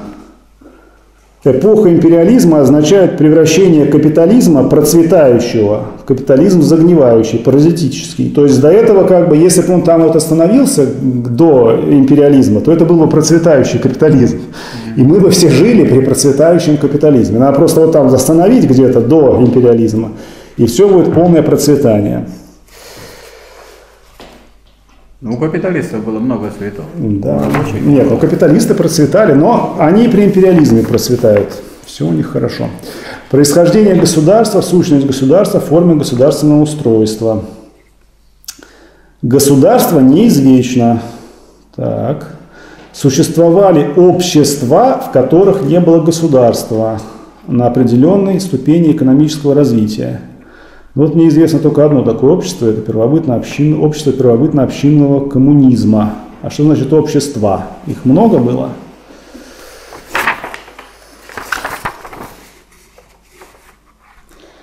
Так, типология государства опирается на марксистское учение об общественно-экономических формациях. Тип государства определяется тем, какому классу или каким классам оно служит, а значит в конечном счете экономическим базисом данного общества. Это неправильно. Вот может быть э, государство диктатура пролетариата, а экономический базис данного общества может быть капиталистическим. Истории известны следующие основные социально-классовые типы государств. То есть бывают государства классовые и социально-классовые. Категория классов, она относится к обществу, поэтому социально-классовые – это масло масляное. Ну вот девочка раньше играли в классы, нарисуют на асфальте и прыгают. Вот чтобы не путали. Да. Рабовладельческая, феодальная, буржуазная и государство диктатуры пролетариата. То есть вы везде как бы умалчиваете, что рабовладельческое, феодальное и буржуазное – это тоже государство диктатуры соответствующих классов. А вот когда вы говорите о социалистическом государстве, вы подчеркиваете, что государство – диктатура пролетариата. Ну хорошо, на этапах перехода от одной формации к другой существовали и существуют государства исторически переходного типа. Что такое государство исторически переходного типа? То есть, как бы, в, э, эта диктатура непонятно какого класса, переход, переходного такого, от одного класса к другому. Ну, или сразу две диктатуры. Или две диктатуры. Одна, умирает, а вторая Это вот побеждает. у нас были, были товарищи, которые про, про две диктатуры нам рассказывали, помнится, недавно. Да, да. Вот у них подслушали. Так, оценка хорошо. Каминский Константин Сергеевич. Капиталистическое производство – вид товарного производства, характеризующегося частной собственностью на средства производства, при котором рабочая сила также является товаром. Значит, во-первых, это не вид товарного производства, а иначе получается у вас так, что как бы бывают разные виды товарного производства, и они рядом положены, получается. Это не, просто, это не вид товарного производства, это и есть товарное производство, развившееся до, до такого этапа или на том этапе развития, когда рабочая сила становится товаром. И характеризуется оно не, только, не, не столько частной собственностью на средства производства. Потому что если вы сказали, что происходит э, что рабочая сила стала товаром, вы и уже сказали про то, что есть частная собственность на средства производства. Потому что когда речь идет о прода- купле-продаже рабочей силы, это означает, что есть тот, кто эту рабочую силу продает, то есть рабочий, и тот, кто эту, рабочий, эту, эту рабочую силу покупает, собственники средств производства. Так что не надо тут э, драматизировать и еще обязательно поговорить про эту частную собственность. Как только рабочая сила становится товаром, этого достаточно, чтобы иметь э, вести речь о, о капиталистическом производстве. Стоимость, количество абстрактного общественно значимого труда, выраженного в товаре. Количество – это величина стоимости. Да. Товары потребительные стоимости, в скобочках, товары в скобочках потребительной стоимости соотносятся между собой в зависимости от стоимости. Это вообще непонятно. Непонятно, что, что да. Тут э, у меня это все подчеркнуто, не понимаю, что вы хотите сказать. То ли вы говорите о меновой стоимости, то ли вы пытаетесь э, вывести стоимость. Наконец-то удалось сформулировать так, чтобы вы не поняли. Да. А Маркс не смог, а вот товарищ Каминский смог. Что такое научный социализм? Научный социализм – одна из трех основных частей моментов марксизма. Политическая теория марксизма, опирающаяся на объективные законы общественного развития, охватывающая вопросы классовой борьбы, определяющая пути и средства построения коммунистического общества. Это все замечательно. Можно также говорить, что э, политическая экономия – одна из трех основных частей моментов марксизма. Э, диалектический материализм – одна из трех основных частей моментов марксизма. То есть, как бы, вот такие определения можно давать. Аж при этом, а что такое научный социализм, чем он отличается от других типов социализма, у вас не указано. Оценка удовлетворительна. Гавриков Михаил Николаевич. Явление и сущность. Действительность. Сущность с формой и содержанием выступает как явление. А то, что сохраняется в явлении, это закон.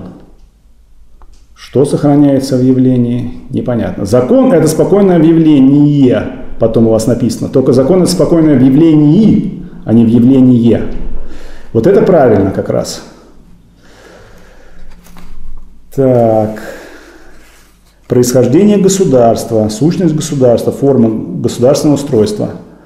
Государство произошло в результате разделения труда в первобытно-общинном коммунизме. Вот здесь я не уверен, что в результате э, разделения труда э, произошло государство, оно произошло в тот момент, когда появились классы. А классы появились в тот момент, когда человек смог произвести больше, чем он сам потребляет. Вот в этот момент произошло разделение общества на классы. И они в результате разделения труда. И не только, что он больше, чем сам потребляет, еще нужно, чтобы он, по крайней мере, еще на одного человека больше может, хватило жизненных средств. Иначе, Почему? А иначе... Если вы производите чуть больше, я могу у вас это чуть больше забирать, и может быть, мне не хватит, а и нет. Умрете. Я вот таких троих вас соберу, и вы втроем а, см... Троих, сможете да. мне наскрести. На... Хорошо, я согласен, да, Выкру... выкрутились. Так, для решения противоречий... Злобные рабовладелец были. Да. Для решения противоречий между классами было организовано государство. Кем было организовано? То есть, как бы, вот у нас есть противоречие между двумя классами. Мы собрались и организовали государство. Нет. Государство – это аппарат насилия господствующего класса. То есть господствующий класс взял и организовал этот аппарат, а не просто было кем-то организовано. Не третья сила какая-то пришла и организовала э, этот аппарат. Оценка «хорошо». Нихнаев Александр Сергеевич, город Ярославль. Закон спокойное объявление. Одно отрицает другое. Закон отрицает подвижность, отклонение от спокойного. Явление, наоборот, отрицает спокойная однозначность, а не пара. Я не понимаю, что вы здесь хотите сказать, почему закон отрицает подвижность. В каком смысле?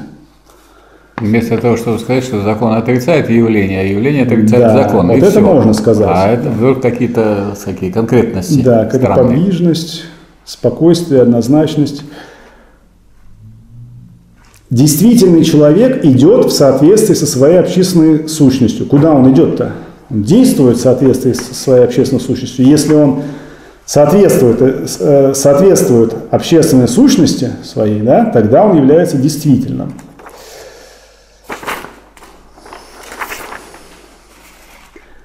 Глав... Советы основаны на трудовых коллективах производственных предприятий. Главной избирательной единицей является завод-фабрика. основной избирательной единицей является завод фабрика. Оценка отлично. Остальное мне понравилось, что вы указали. Бекеров Руслан, Руслан Кадимович.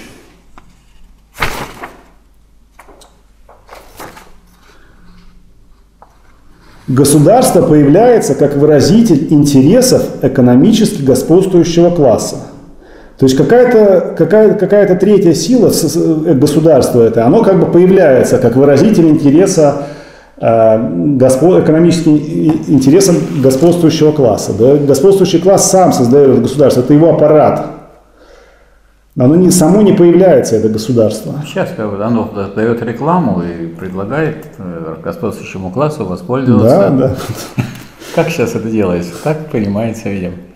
С установлением бесклассового общества государство отмирает. Ну вот опять та же история, что как только мы построили социализм, сразу же, видимо, государство и отми отмирает. Оно начинает отмирать, засыпать, но оно не отмирает сразу же. Оно отмирает только при полном отмирает, коммунизме. Отмирает и никак не может отмереть. Да. Вот оценка хорошо за это вам я только смог поставить такие утверждения. Харин Вадим Васильевич. Сущность – это снятое бытие или истинность бытия? Истина бытия. Так, раз мы находимся в сфере сущности, да, вы отвечаете на вопрос, э, сущность как снятое бытие, видимость. Раз мы находимся в сфере сущности, значит мы должны отрицать существенное. Отрицанием существенного это несущественное. Нет, не получается отрицать существенное, несущественное. Существенное и несущественное появляется тогда, когда вот у вас есть бытие, а отрицанием которого является сущность, и они и, и то, и другое бытие. И вот когда как третье, как вы вне, как внешне их созерцаете, как у вас получается бытие и сущность рядом находящиеся, это существенное и несущественное. Сущность это существенное, а бытие это несущественное. Вот и все. Пока там никто никого не отрицает. Вы просто их разглядываете вот так, как с внешней стороны. А про видимость так. Видимость – это отрицание бытия или бытие, взятое с отрицанием. Причем отрицание идет сразу. Куда сразу оно идет? Это не отрицание бытия, а видимость отрицание сущности, самой сущности. Да. Это отрицанием бытия является сущность, а не просто видимость. Как уже было указано ранее, капиталистическое производство возникло из товарного производства. Товарное производство возникло, когда появились товары. Товар – это предмет. Полезная вещь и полезность этой вещи делает ее потребительной стоимостью. Это неправильно. То есть, конечно, товар – это вещь. Но если вы даете определение товара, то товар – это не просто вещь, а продукт, предназначенный для обмена. Любой предмет, вот просто предмет, товаром не является. Но это только одна сторона товара. А другая сторона товара это то, что один товар можно обменять на другой товар. Не можно, а он произведен для обмена. А не можно. Если я проводил, производил не, обмена, не для обмена, если я э, производил, если я огурцы закатывал в банку для того, чтобы их кушать самому долгими зимними вечерами, то это не товар. Но продать его можно. Но продать его можно, да. Так. Таким образом, мы пришли к одному из основных экономических понятий в капиталистическом производстве – стоимости. Количество стоимости измеряется количеством этого труда. Величина стоимости, а не количество стоимости. Нет, такого, нет такой категории да. количества стоимости. А количеством какого-то усредненного труда при средних условиях производства, при среднем уровне в общем, непонятно, то ли вы запятую забыли, то ли вы... Вообще с необходимые затраты труда забыли. Да. В общем, теперь видно, что при обмене один товар на другой, а таких обменов имеется множество, общее у всех этих явлений – это стоимость. Ничего тут непонятно. Что мы увидели, как мы стоимость различили, непонятно. Оценка хорошо. Степанов Денис Романович. Да, противоречие это когда? Одна сторона, это Это когда? Не надо. Весной, зимой, осенью да. или летом. Но в целом я поставил оценку отлично.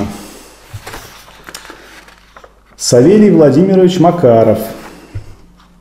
Собственность – это отношение к объективным средствам производства как к своим, правильно? К условиям. Да, как отношение к объективным условиям производства как своим, да. А не средствам производства. Товар – продукт, произведенный для продажи. Неверно. Продажа – это более сложная категория. Вам нужно знать, что такое деньги, что это там э, всеобщий товар эквивалент, чтобы говорить о продаже. А товар это просто продукт, произведенный для обмена. Партия авангард класса. Так, советы и проблема отмирания государства. И вот вы пишете, ну вроде бы как бы видно, что вы пытались тут, э, пытались тут процитировать Владимира Ильича, но у вас получилось как-то неказисто. Диктатура пролетариата – это устойчивое латинское выражение, которое означает, что только класс городских фабрично-заводских рабочих может вполне управлять рабочим государством вплоть до полного уничтожения классовых различий. Но если вы начали пытаться цитировать Владимира Ильича, то надо было прямо и писать, что диктатура пролетариата – это лати, научная, латинская, историко-философская категория, означающая вот что. И так далее по, э, по цитате, которая у Владимира Ильича можно найти в работе «Великий подчин». Оценка «хорошо». Шишков Олег Николаевич.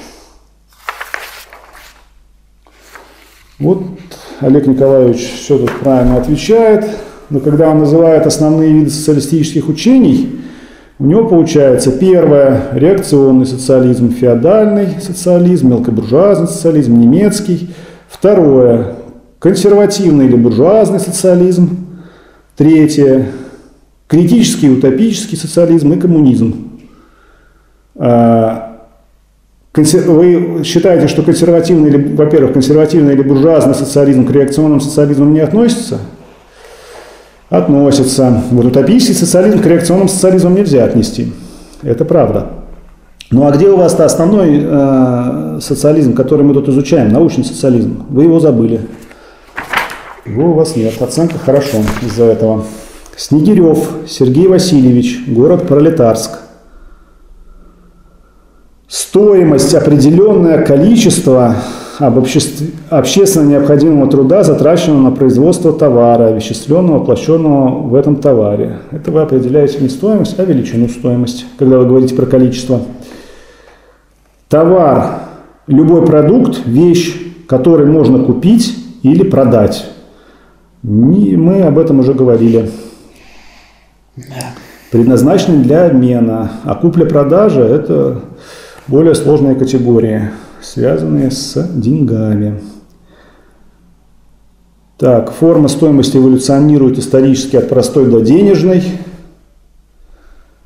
Капиталистический способ производства тире получения максимальной прибыли при максимальной эксплуатации рабочих. Что это такое? Это определение капиталистического способа производства вы даете такое? Или что вы имеете здесь в виду? Максимализм. Да. Что такое научный социализм? Главное в научном социализме состоит не в том, как распределять, а в том, как производить. Какое отношение это имеет к научному социализму, непонятно. Оценка удовлетворительна. Марченков Денис Александрович – Государство пришло на смену родовой организации общества, как учреждение, ограждающее приобретенные богатства отдельных лиц от коммунистических традиций родового строя, узаканивающее право имущего класса на эксплуатацию неимущего. То есть, опять получается, что этот класс имущий страдал, и вот только на помощь ему пришло государство. Где-то прилетело с Марса, и пришло на помощь этому страдающему э, классу. С и Марк, наконец-то Маркса прилетело из будущего. И наконец-то оградило его, а его и приобретенные богатства от вот этих вот. Э, эксплуатируемых. Опять, что государство это как будто бы некая третья сила. Сущность государства состоит в угнетении одного класса другим, в удержании в повиновении одному классу прочие подчиненные классы. Так какого, каким классом-то? Один класс господствует, а другой класс эксплуатируется. А не просто один класс другим, а потом обратно, этот тем. Есть господствующий класс и есть класс эксплуатируемый. И Сущность государства состоит не в угнетении, а в диктатуре господствующего класса. Оценка хорошо. Так, Заварина мы уже про, про, проверяли. Оценка отлично. Колчев Феликс Анатольевич. Так. Понимать историю материалистически значит исходить из той истины, что двигатель общественных процессов находится в экономической сфере Идея может только притормозить развитие производительных сил или ускорить их. Отсюда следует также необходимость деления общества на классы по характеру участия людей в производстве. Что значит отсюда следует? Так общество разделено объективно на классы или следует, что нам нужно его делить на классы? Зачем нужно государственное регулирование экономики? Ну, здесь вы вообще практически ничего не ответили на вопрос. Вы считаете, что государственное регулирование экономики нужно только для нивелирования хаотичных действий индивидуумов хозяйственной и финансовых сферах. Ну и что, что а чем эти хаотичные действия индивидуумов плохи в хозяйственной и финансовых сферах? Происхождение государства. Сущность государства в подавлении одного класса другим. Вот опять, какой-то один класс подавляет другой класс, а потом наоборот, по всей видимости. Но если в классовом обществе господствующий класс заинтересован в сохранении противоположного класса, то социалистическое государство – направлена на полное искоренение класса эксплуататоров, на уничтожение буржуазности. Что такое буржуазность? Так так как социализм – это уничтожение, деление общества на классы, то социалистическое государство выбивается из данного перечня, являясь полугосударством. Это не уничтожение деления общества на классы, а уничтожение классов. Не деление уничтожается, а сами классы уничтожаются. Оценка удовлетворительна. Дмитрий Александрович Исакович, город Могилев, Беларусь. Оценка отлично. Черкашина Надежда Юрьевна. Вот вы пишете, э, отвечаете на вопрос о определении понятия, говорите про понятие, а про определение вы совсем забыли. Поэтому получаете оценку хорошо. Цандо Максим Михайлович. Под капиталистическим способом производства следует понимать произведенные материальные блага, основанные на частной собственности, на средства производства, использовании э, труда наемных рабочих. Частное присвоение прибавочной стоимости. Ну, это рассуждение о капиталистическом способе производства к его определению отношения не имеющие никакого. Советы образуются на базе крупного производства, профсоюзной борьбы, классовой солидарности рабочих в борьбе за свои права, Депутаты избираются по производственному принципу, а у избирателей есть право отозвать депутата при необходимости. Но определение советов надо было дать. Оценка и, борьбу, хорошо. и борьбу за свои интересы не подменять борьбой за свои права. Да. Какие права, какие вандали? За буржуазные, конечно. Ну вот. А, Разумовский Иван Михайлович. Определение понятия. Вот товарищ начинает ответ. Это качество, которое из себе в простом нечто. Точка. Сущность находится в единстве с другим моментом этого нечто, с в нем бытием. Все испорчено. Да, тут вы ничего, ничего содержательного не сказали. Понятие – это снятая сущность. Сущность – это снятое бытие. Снятие есть отрицать, отрицание с удержанием содержания. Поэтому понятие отрицания – это отрицание отрицания бытия. Имея два отрицания, у нас получается восстановление бытия. Ну и что? Ну получается. Такая просвечивает сущность все-таки в, э, в понятии как бытие или нет? Дайте определение капиталистического производства. Так, товарищ пишет. Стоимость-в товаре воплощен человеческий труд. Ну, хорошо. Труд измеряется в рабочих часах. Величина стоимости может быть измерена в часах, а не труд. Происхождение государства. Государство происходит вместе с дроблением общества на классы. Класс-базис, запятая, бытие. Что вы хотели тут сказать? Класс, базис. Непонятно. Класс-базис, а потом за и бытие. Удовлетворительно. Быковский Руслан Владимирович. Оценка отлично. Бранте Даниэль Эдуардовна, Эдуардовна. Сущность – это внутреннее содержание предмета, выражающееся в единстве всех его многообразных свойств и отношений. Явление, то или иное обнаружение предмета внешней формы его существования. Познание категории выступают как ступени постижения предмета. В общем, вот здесь, по всей видимости, вы подсмотрели в какой-то плохой словарь. Есть у меня подозрение такое. Капиталистический способ производства, способ производства материальных благ, основанный на частной собственности на средства производства и эксплуатации наемного труда, который определяет развитие капиталист, капиталист общества, характер его обществ, строя.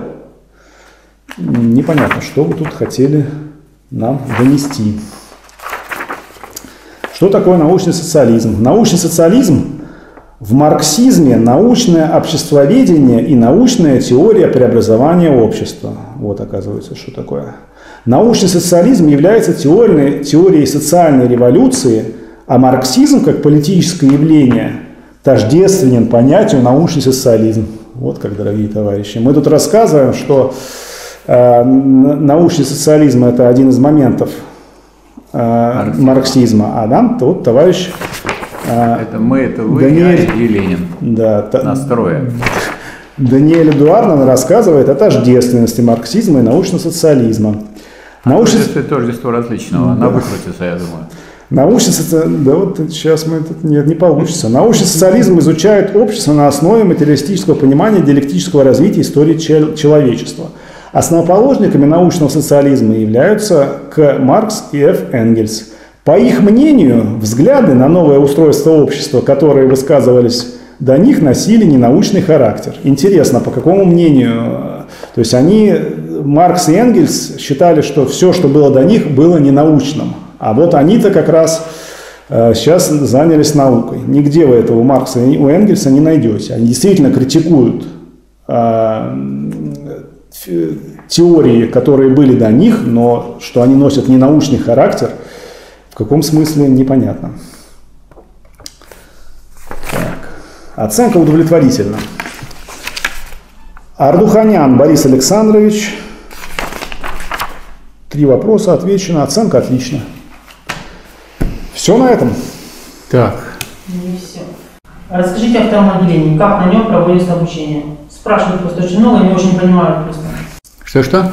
О втором отделении. О втором отделении, как на нем проводится обучение? Я сейчас об этом скажу.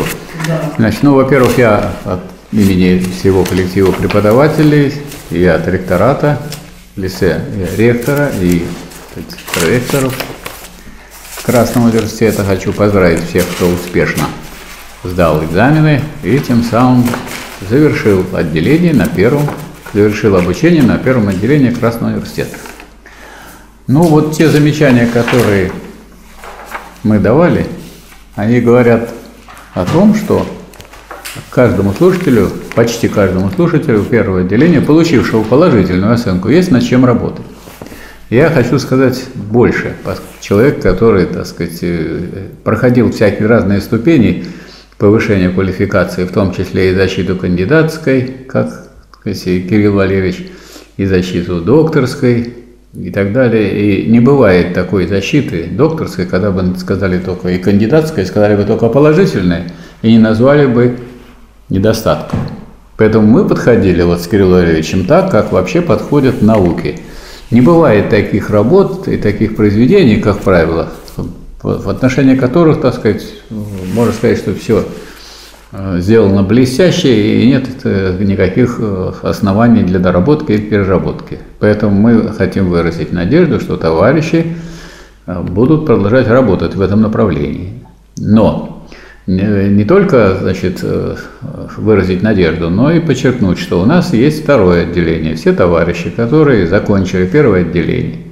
Значит, теперь мы в электронной форме делаем диплом, и диплом в электронной форме будет разослан через систему СДО, но они продолжают свое существование и пребывание на втором отделении Красного университета. Столько, сколько они считают для себя возможным и необходимым.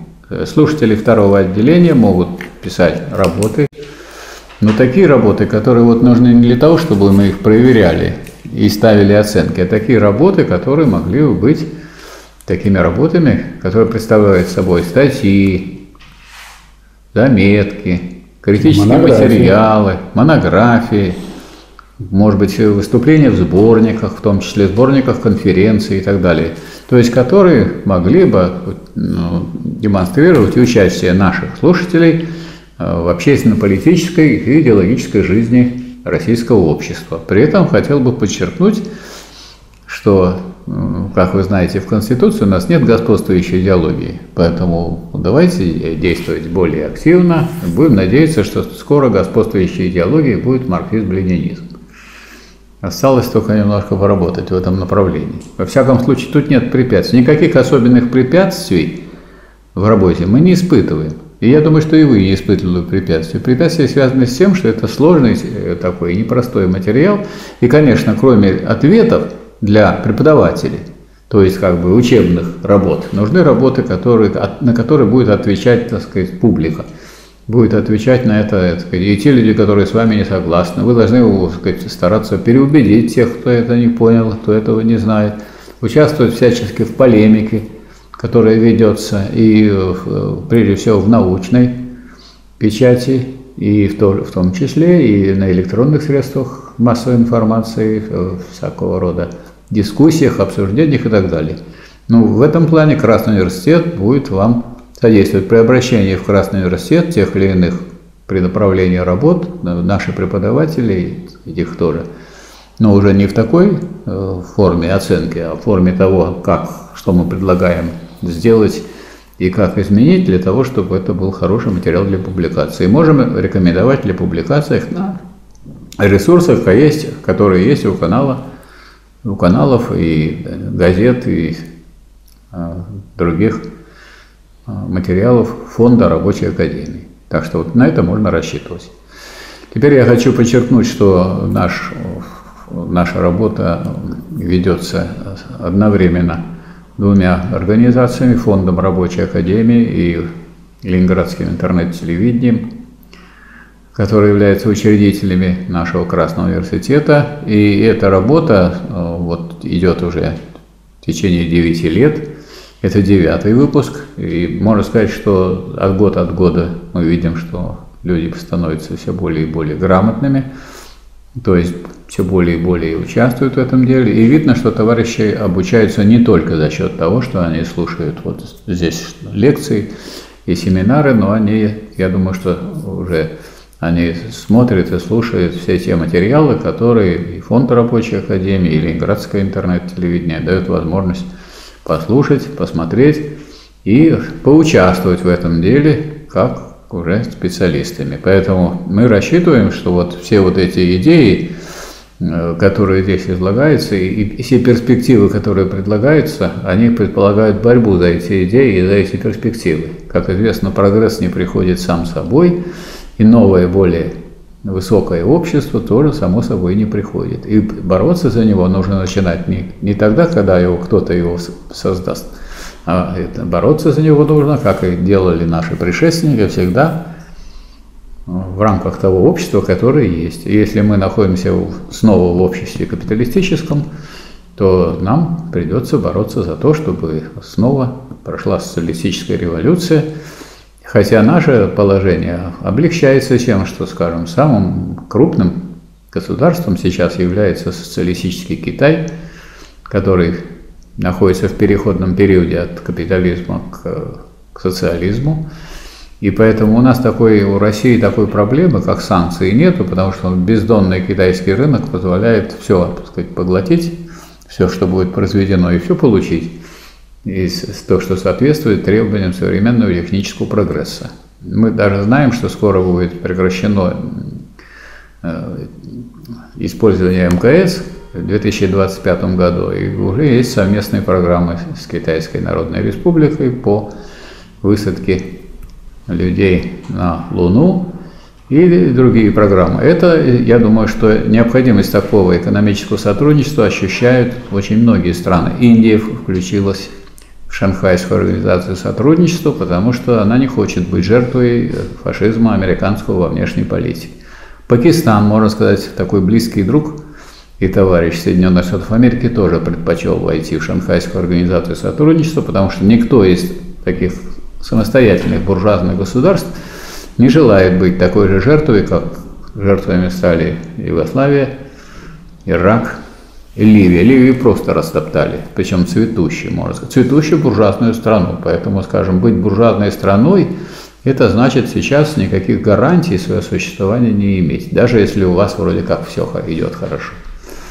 И, да и вообще надо сказать, что история никаких гарантий не дает, а если кто-то прекращает борьбу за прогресс и за развитие, то он, э, так сказать, скатывается назад. Поэтому это всякого рода разговоры о том, что, так сказать, мы победили полностью, окончательно, что все закончилось, больше не будет и так далее, точно так же, как утверждать, что теперь капитализм победил полностью, окончательно. Такого не бывает в истории. Мы находимся в какую? какой эпохи? Эпохи перехода капитализма к коммунизму и эпохи диктатуры пролетариата и пролетарских революций. И, соответственно, с этим надо строить свою деятельность, свою жизнь. Но все начинается, и большие дела с малых дел, поэтому все начинается с организации рабочего класса, с того, чтобы рабочий класс имел свою мощную партию. Примером служит деятельность Владимира Ильича Ленина и большевиков – и поэтому в этом направлении нужно работать. Нельзя в этом направлении работать, не имея соответствующих знаний. Поэтому те знания, которые получены в Красном университете, я надеюсь, и я выражаю мнение и наших всех товарищей, преподавателей, будут употреблены для того, чтобы борьба рабочего класса и трудящихся привела к тому, чтобы у нас снова возродился социализм, и, так сказать, не успокоились люди при социализме, а пометуя о диалектике и борьбе, и о противоречиях развития социализма, боролись бы против реакционных тенденций при социализме за прогрессивные. И тогда мы будем надеяться на полный коммунизм. Но если мы тогда перестанем бороться при полном коммунизме, из полного коммунизма можно вернуться в социализм. А в социализм, как мы знаем, если вы придете, можно вернуться в капитализм. Так что то, о чем мы тут говорим и что изучаем, это наука навсегда. Хочется от имени сказать, Красного университета пожелать успехов в жизни и в борьбе, крепкого здоровья, победы не только сказать, над ковидом, но победа над той косностью, над темнотой, э, над реакционной идеологией, которая у нас, к сожалению, сказать, пока господствует. Большое спасибо, до свидания. Поздравляем вас с окончанием первого отделения Красного университета. Успехов на работе во втором отделении. До свидания, товарищи.